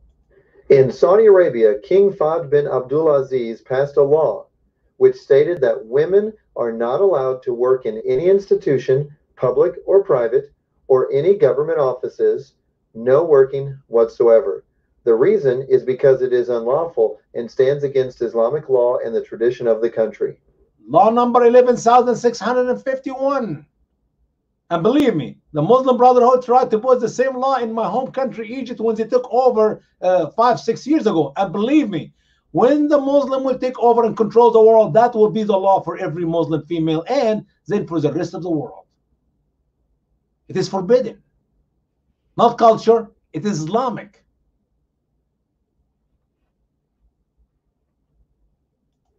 A good Muslim woman, for her part, should always be trustworthy and kind. She should strive to be cheerful and encouraging toward her husband and family and keep their home free from anything harmful. Haram covers all aspects of harm, including bad behavior, abuse, and forbidden foods. Yeah. Be good Muslim lady and you have a happy joyful life with your husband. Okay? Regardless of her skills or intelligence, she is expected to accept her man as the head of her household. She must therefore take care to marry a man she can respect and whose wishes she can carry out with a clear conscience. However, when a man expects his wife to do anything contrary to the will of God, in other words, any nasty, selfish, dishonest, or cruel action, she has the right to refuse him. Wonderful. Don't you love that? If that's the case, uh, literally, no man in the Muslim world will have a wife. They'll all leave. All the wife will leave. No, this is a biblical language. When the Bible talk about the man is the head of the house, as the head of the wife, as Christ is the head of the church, she's using it in her speech as if it is something Islamic. No, it is not Islamic. All right. Her husband is not her master. A Muslim woman has only one master, and that is God. If her husband does not represent God's will in the home, the marriage contract is broken. I'm sorry to say that uh, men are in charge of women. Men are the master and women are slaves in Islam. There's so much garbage Muhammad said in the hadith. I don't have time to put it here tonight to show you that women are treated worse than garbage in Islam. They're dirtier than dirt and worse than garbage. So the, the husband for sure is a master and a woman is a slave in Islam. What should one make of the verse in the Quran that allows a man to punish his wife physically? There are important provisos. He may do so only if her ill will is wrecking the marriage, but then only after he has exhausted all attempts at verbal communication and tried sleeping in a separate bed. She's making the word of Allah to three separate steps, not all together, as we're going to see in the verse. First, he's going to preach to her, you know, honey, please be nice. And a second, well, he start, you know, a uh, uh, separate bed. He's sleeping in a different bed, and and Dr. Sahar told me if he's sleeping in different bed, he's not having sex either. No, sweetheart, he has sex with other women. There are plenty of them. And then, and then, if everything could not work, then he can, you know, beat her, and and he would beat her lightly, not not hard beating, really, really. Well, here is uh, uh, the, another statement uh, by uh, Dr. Ruqayya to learn about Muhammad, the noble example, and we learn from Muhammad a lot. However, the Prophet never hit a woman, child, or old person, and was emphatic that those who did could hardly regard themselves as the best of Muslims. Moreover, he also stated that a man should never hit one of God's handmaidens, nor, it must be said, should wives beat their husbands or become inveterate nags? Wives beat their husband. Where do you live? In England? Oh, I'm sorry. She was living in England. I, apologize. Uh, so maybe she have a point there. Uh, anyway, so let's uh, look at the hadith first to learn. Did Muhammad really beat uh, his beautiful wife Aisha, his favorite wife? Because if Muhammad never touched a woman or hit a woman, that means uh, Muslims should not hit their wives. Listen to Aisha own Aisha's own words. Why is it, O Aisha, that you're out of breath? I said, There is nothing. He said, Tell me, or Allah would inform me. And then I told him. He said, Was it the darkness of your shadow that I saw in front of me? I said, Yes. He struck me on the chest, which caused me pain, and then said, Did you think that Allah and his apostle would deal unjustly with you? What an evil guy Omar is. He's so mean to her. But Muhammad had her on her chest. This is his favorite wife, the six years old. Now she is maybe, I don't know, 11, 12 years old. She's a little bit older. Muhammad beat Aisha. Therefore, every Muslim man has a right to beat his wife. As a matter of fact, this is the word of Allah. It's not just Muhammad, Allah's word. Remember, I told you we're going to come to this verse back uh, a little bit later. Here it is, the rest of Quran 434. And listen carefully to the word of Allah because Muslims will not even read it right. Here's the word of Allah. And of whom you fear rebellion, so preach to them and separate from them in the beds and scourge them. So if they obey you, so do not seek a way against them. Surely Allah was higher, big.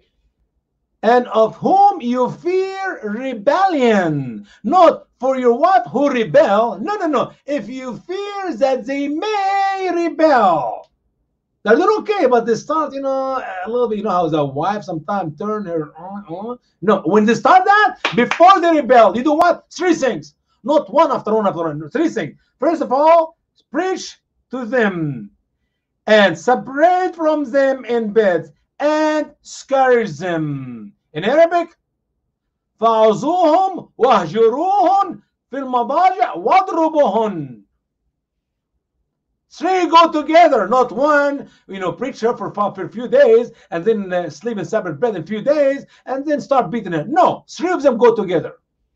If you fear that they may rebel, not if they rebel. If they rebel, you can kill them. Trust me, you can kill them. They're your property. You can do whatever you want to do with them, like a slave. And what is a light beating? I love how Ibn Kathir assured his Muslim students how severe is the punishment. He said, uh, actually, here it is. Ibn Kathir. Listen to Ibn Kathir. Here we go. In explanation of how severe the punishment should be, Ibn Kathir says that the punishment should not cause broken bones, but it should be a light beating. Light beating. No broken bones, sweetheart. Don't worry.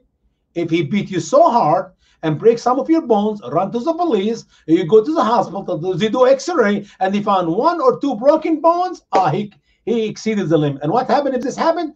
That's okay. Her family meet with his family, and uh, he apologize and back go back to normal life. That's what it is. Light beating, no broken bones. Don't you love that? All right, let's see something else. Uh, very important hadith here uh, by Ibn Kathir commentary about Omar took his wife and beat her, then said to Ash'ath, Memorize three things for me, which I memorized from the Prophet who said, The man is not to be asked why he beat his wife. Did you learn anything from Omar? You see, people in Muhammad days live in tents, in uh, small homes. You can hear the cry of the wife of the neighbor. So in the middle of the night, you hear, oh, oh, she's screaming and he's beating her, beat the delight out of her. No broken bones. Okay, don't forget, no broken bones. Then in the morning, you don't say, hey, Mr. Smith, uh, last night I heard your wife, she was crying out loud. Now, why, why you beat your wife? Uh-uh, don't ask why you beat, why your neighbor is beating his wife. Says who? Says Muhammad, the noble example, which means women in Islam are not beaten by their wives. Yeah, exactly. You got it wrong. How about this one? I think that's another important one here. Rifa'a divorced his wife, whereupon Abdur Rahman married her. Aisha said that the lady came wearing a green veil and complained to her and showed her a green spot on her skin caused by beating. It was the habit of ladies to support each other. So when Allah's messenger came, Aisha said, I have not seen any woman suffering as much as the believing women. Look, her skin is greener than her clothes. You love Bukhari? Hadith uh, number 715 in volume 7. Muslim women, the believers, were beaten by their wives, no broken bones, but their skin is greener than their clothes. Uh, use your imagination. That is, that must be light beating. I guarantee you that was light beating. How about this one? Mohammed said, Hang the whip where your wives can see it.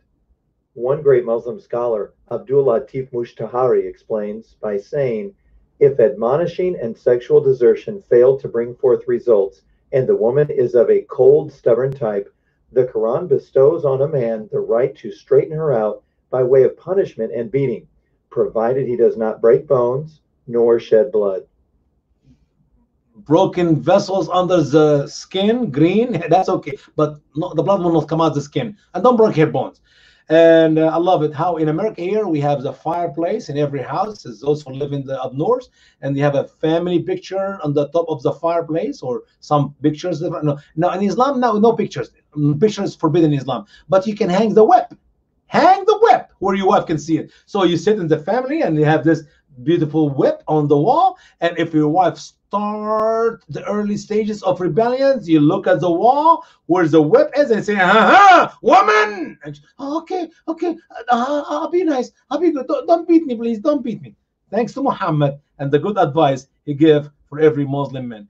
According to uh, the Muslim scholars, reasons for a wife uh, should be punished are refusing his sexual advance, uh, leaving the house without his permission, not concerning about her appearance, or not performing religious tradition, uh, wash and prayer. Yep, there are plenty of reason. Here we can beat our wives in the beautiful religion of Islam. Muhammad said, If a man calls his wife to his bed and she refuses, and he goes to bed angry, the angels will curse her until morning. You don't want to be cursed by the angel of Allah all night long until morning. If he asks you to go to his bed, don't they don't even hesitate. Yes, sir. We got a case in Florida where a Muslim man was taken to court, and the stupid liberal judge let him go free because he was literally raping his wife. And the Muslim lawyer from CAIR said, Your Honor, this is our culture. He does not know if he asks his wife to have sex with, she say no. That means she say no. In our culture, you know, our in our, our, our okay, the judge. Thank God she actually appealed it to a higher court and they punished him. Because in Islam, it's okay for a wife to rape his wife. Welcome to Sharia, Islamic law. Uh, Professor Ahmed Shalaby, yep, correction is very good. Beat the wife is good. Uh, here we go. Muhammad also uh, us another wonderful saying Muhammad here. ordered a raid on a village that opposed him. His adopted son Zaid captured an elderly woman. He tortured her mercilessly and killed her by tying her feet with ropes to two separate camels, which went in different directions, splitting her in half.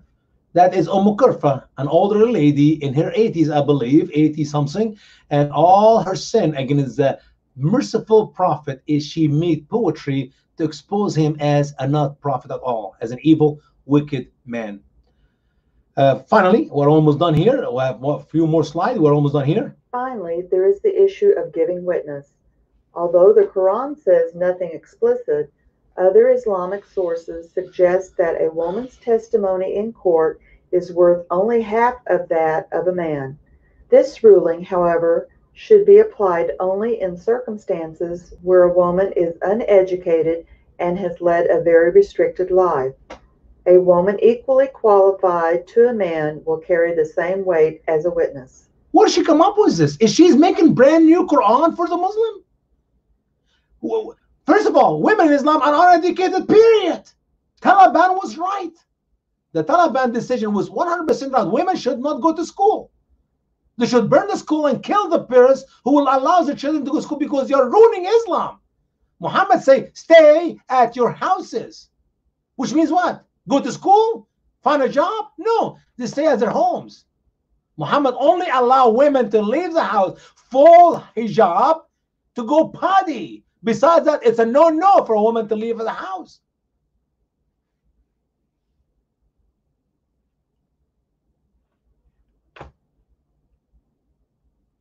Quran 282, 282. Allah's word says, So, if the debtor was mentally deficient or weak or cannot dictate, so let his friend dictate with fairness and call two witnesses from your men.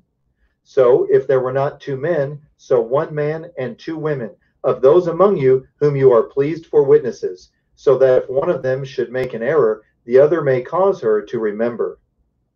one man and two women. First, you first of all two men. You don't need any woman. You could not find two men, one man and two women of those whom you are pleased with, not the uneducated, not the stupid, not the dumb, not the, the, the, the foolish one, the best of the women. But she said in her writings, this only in the case of they're uneducated, they're, you know, in case one of them could not remember, the other one remember. No! The best two women whom the men are pleased with equal to one man in witness.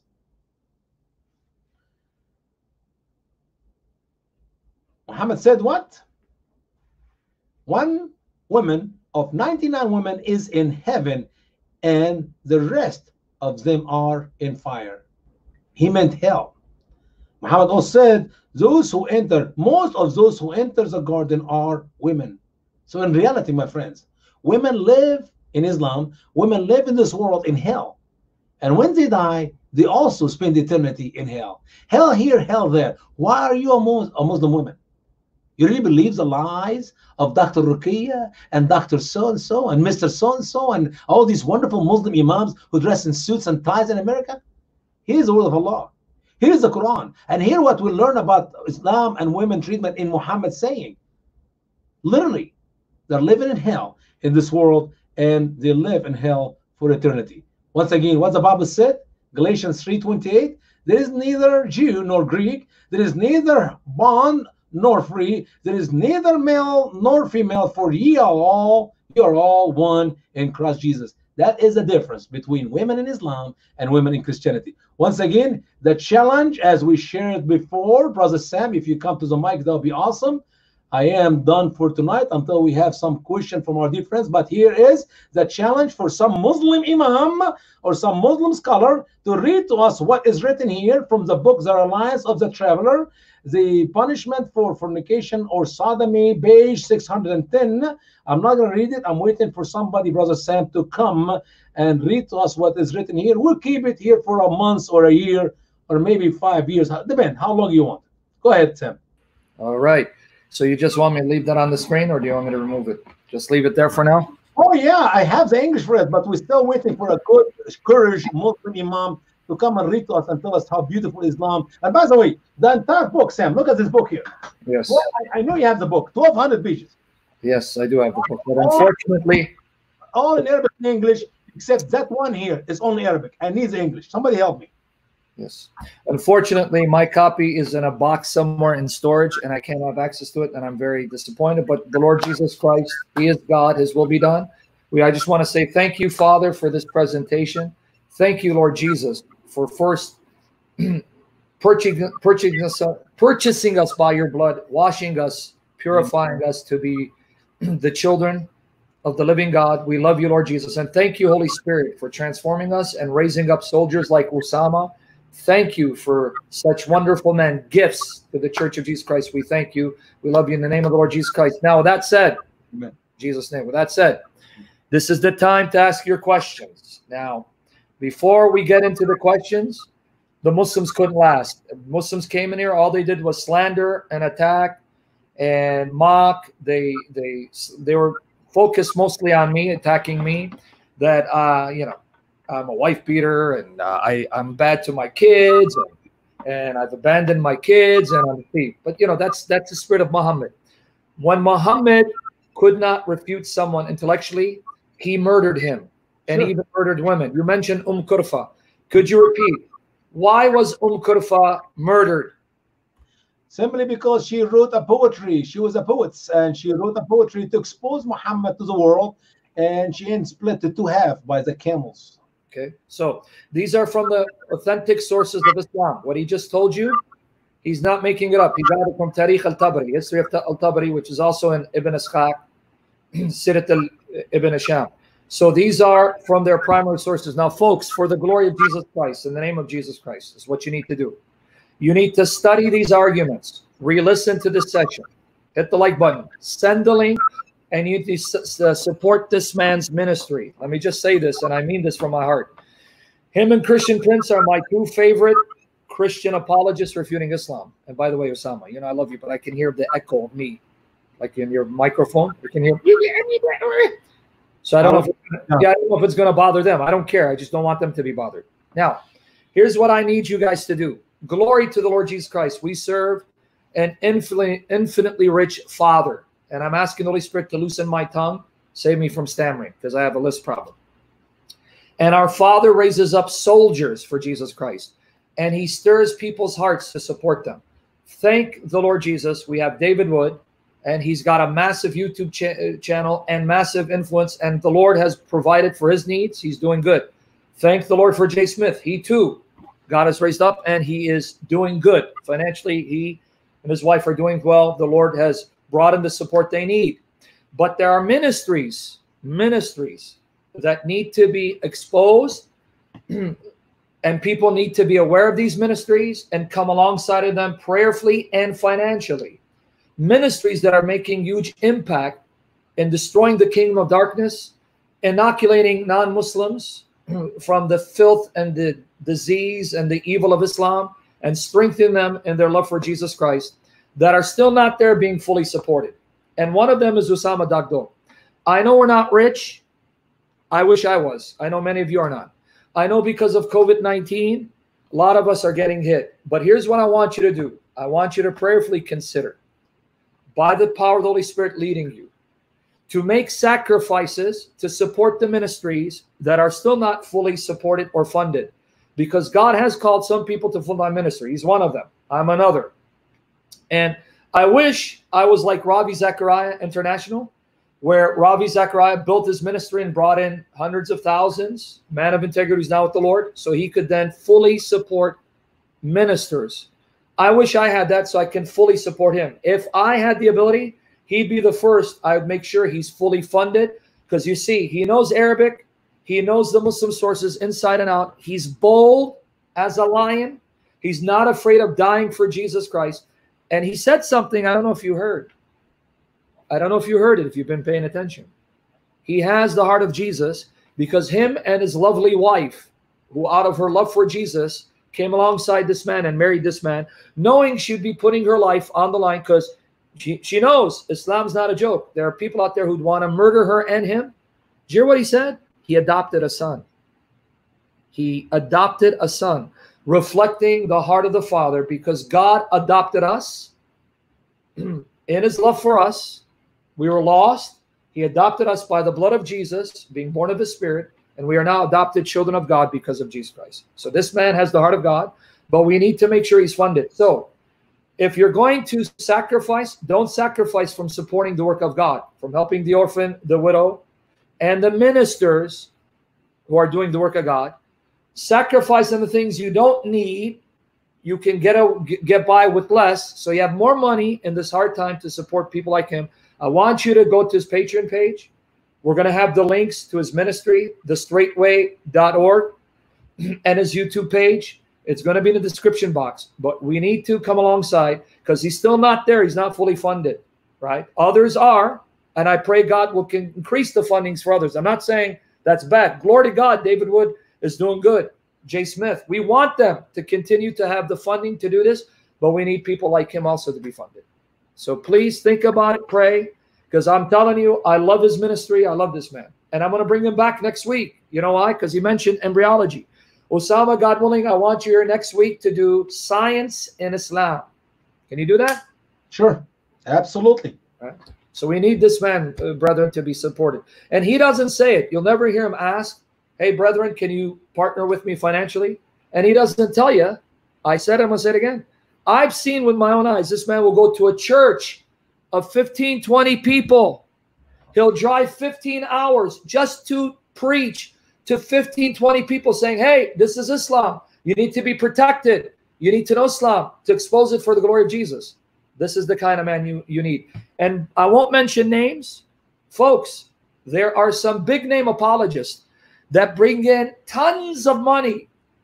You know how much they ask for speaking engagement? And I know this firsthand from people who know.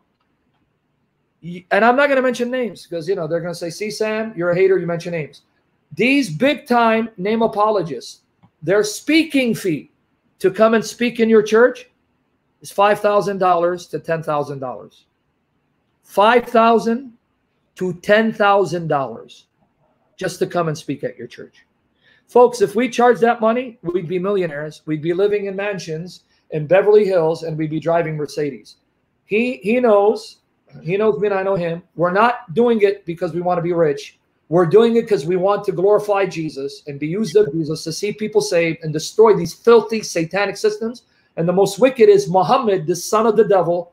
May he burn in hell forever in Jesus' name. So can you imagine? You got people asking $5,000 to 10,000 to come and speak at church. I seen this man. I traveled. And Osama, you, you can tell them if I'm lying. We won't mention the place, but a small place where I came with my, my sister in the Lord. You remember you met her. We went there and he was preaching to about 20 people in a rural, rural area. And he drove there 15 hours. This is the kind of man Osama is. I love this man. God and I, I can be like him. Honestly, I can have the integrity he has. Please, Jesus, make me a man integrity like him. And I want you guys to support him. So by the grace of God, now it's time for Q&A. Now, most of you are Christians, so you may not have questions because the Muslims ran Osama. You were too much for them. I thought I was too much. You were too much for them. So, any questions? Any questions?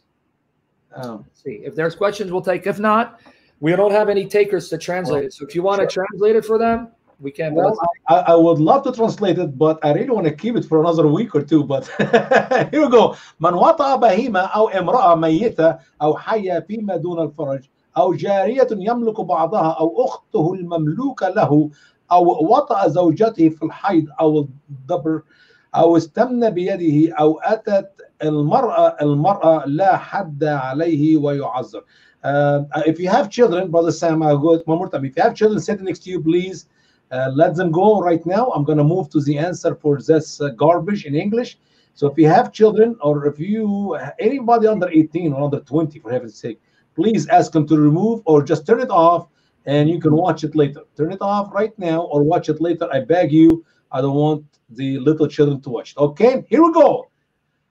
Uh, bless me, brother, uh, uh, brother uh, uh, Sam, and read to us this garbage. I don't want to read it. To All right. Okay, guys. Guys, he warned you. This is the filth of Isma, uh, uh, Islam. Expose Muhammad for the filthy son of Satan he is for the glory of Jesus. Okay, I'm going to read it now. Whoever had sex with an animal or a woman, dead or alive, in the rectum, whoever had sex with an animal or woman, dead or alive, in the rectum, or had sex with a slave whom he owns, part of her, or his sister, his sister, which he owns, or have sex with his wife during the period or in the rectum or masturbate or lesbian sex, no punishment on him, and he will be given an excuse. Okay, I read it. And it's right there on the screen. Let me see if I can do something before. Wait, wait, don't take it down yet. I want to see something.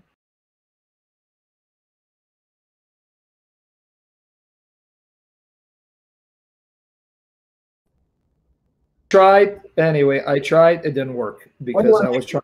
Okay. Yep. So I was trying to get guys. I was trying to blow it up, but that's as big as it gets. So you heard the filth.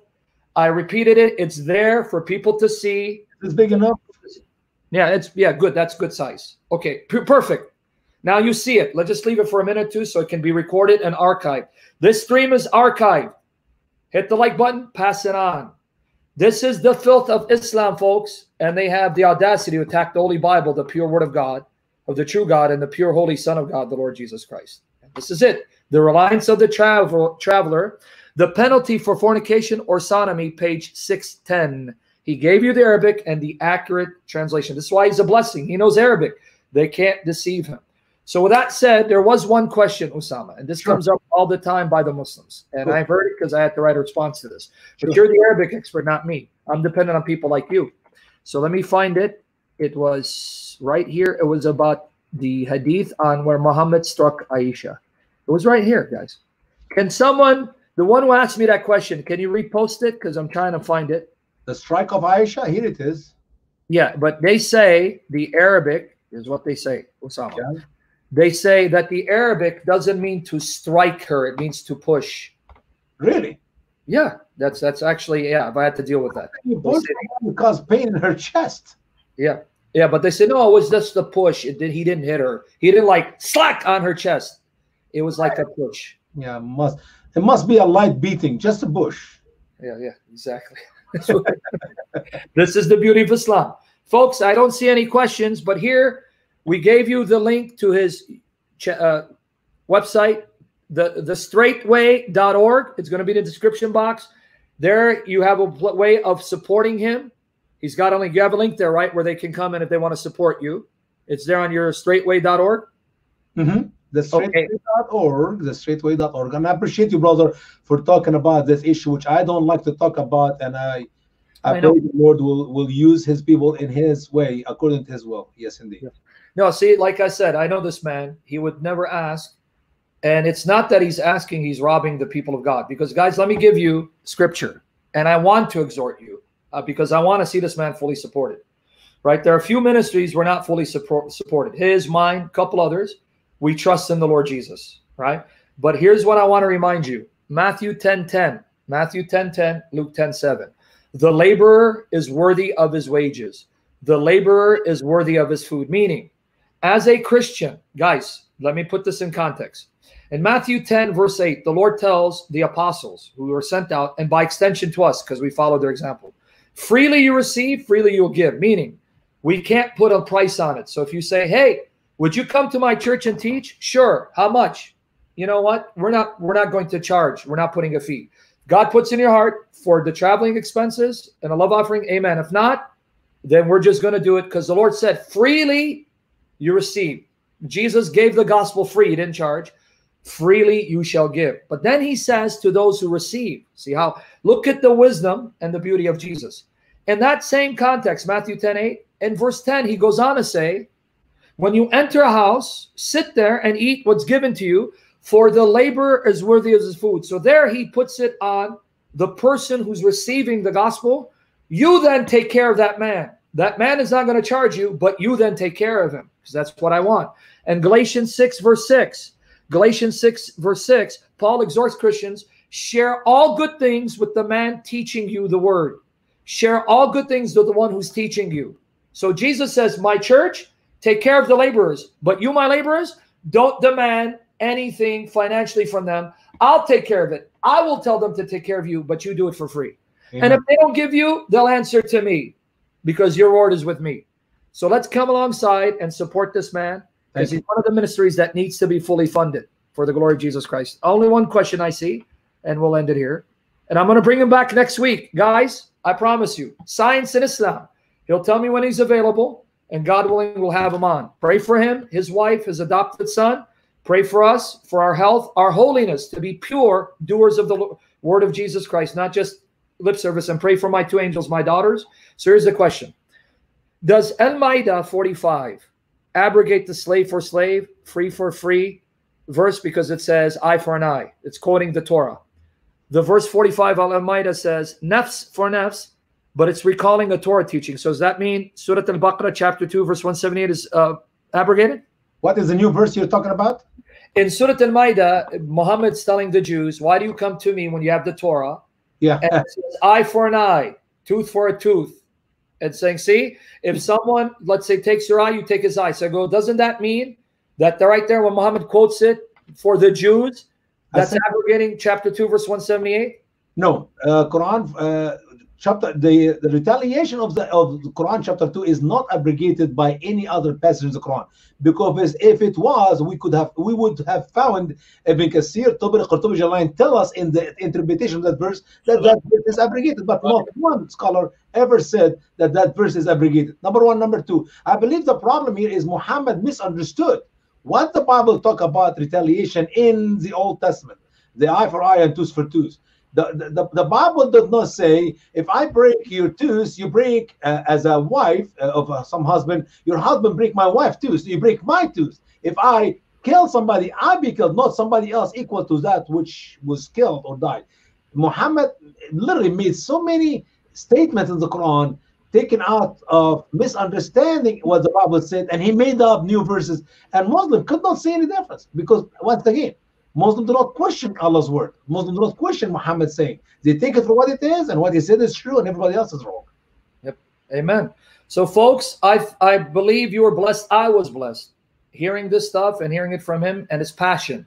We need people like this, people who are full of passion, bold, lions, are not afraid.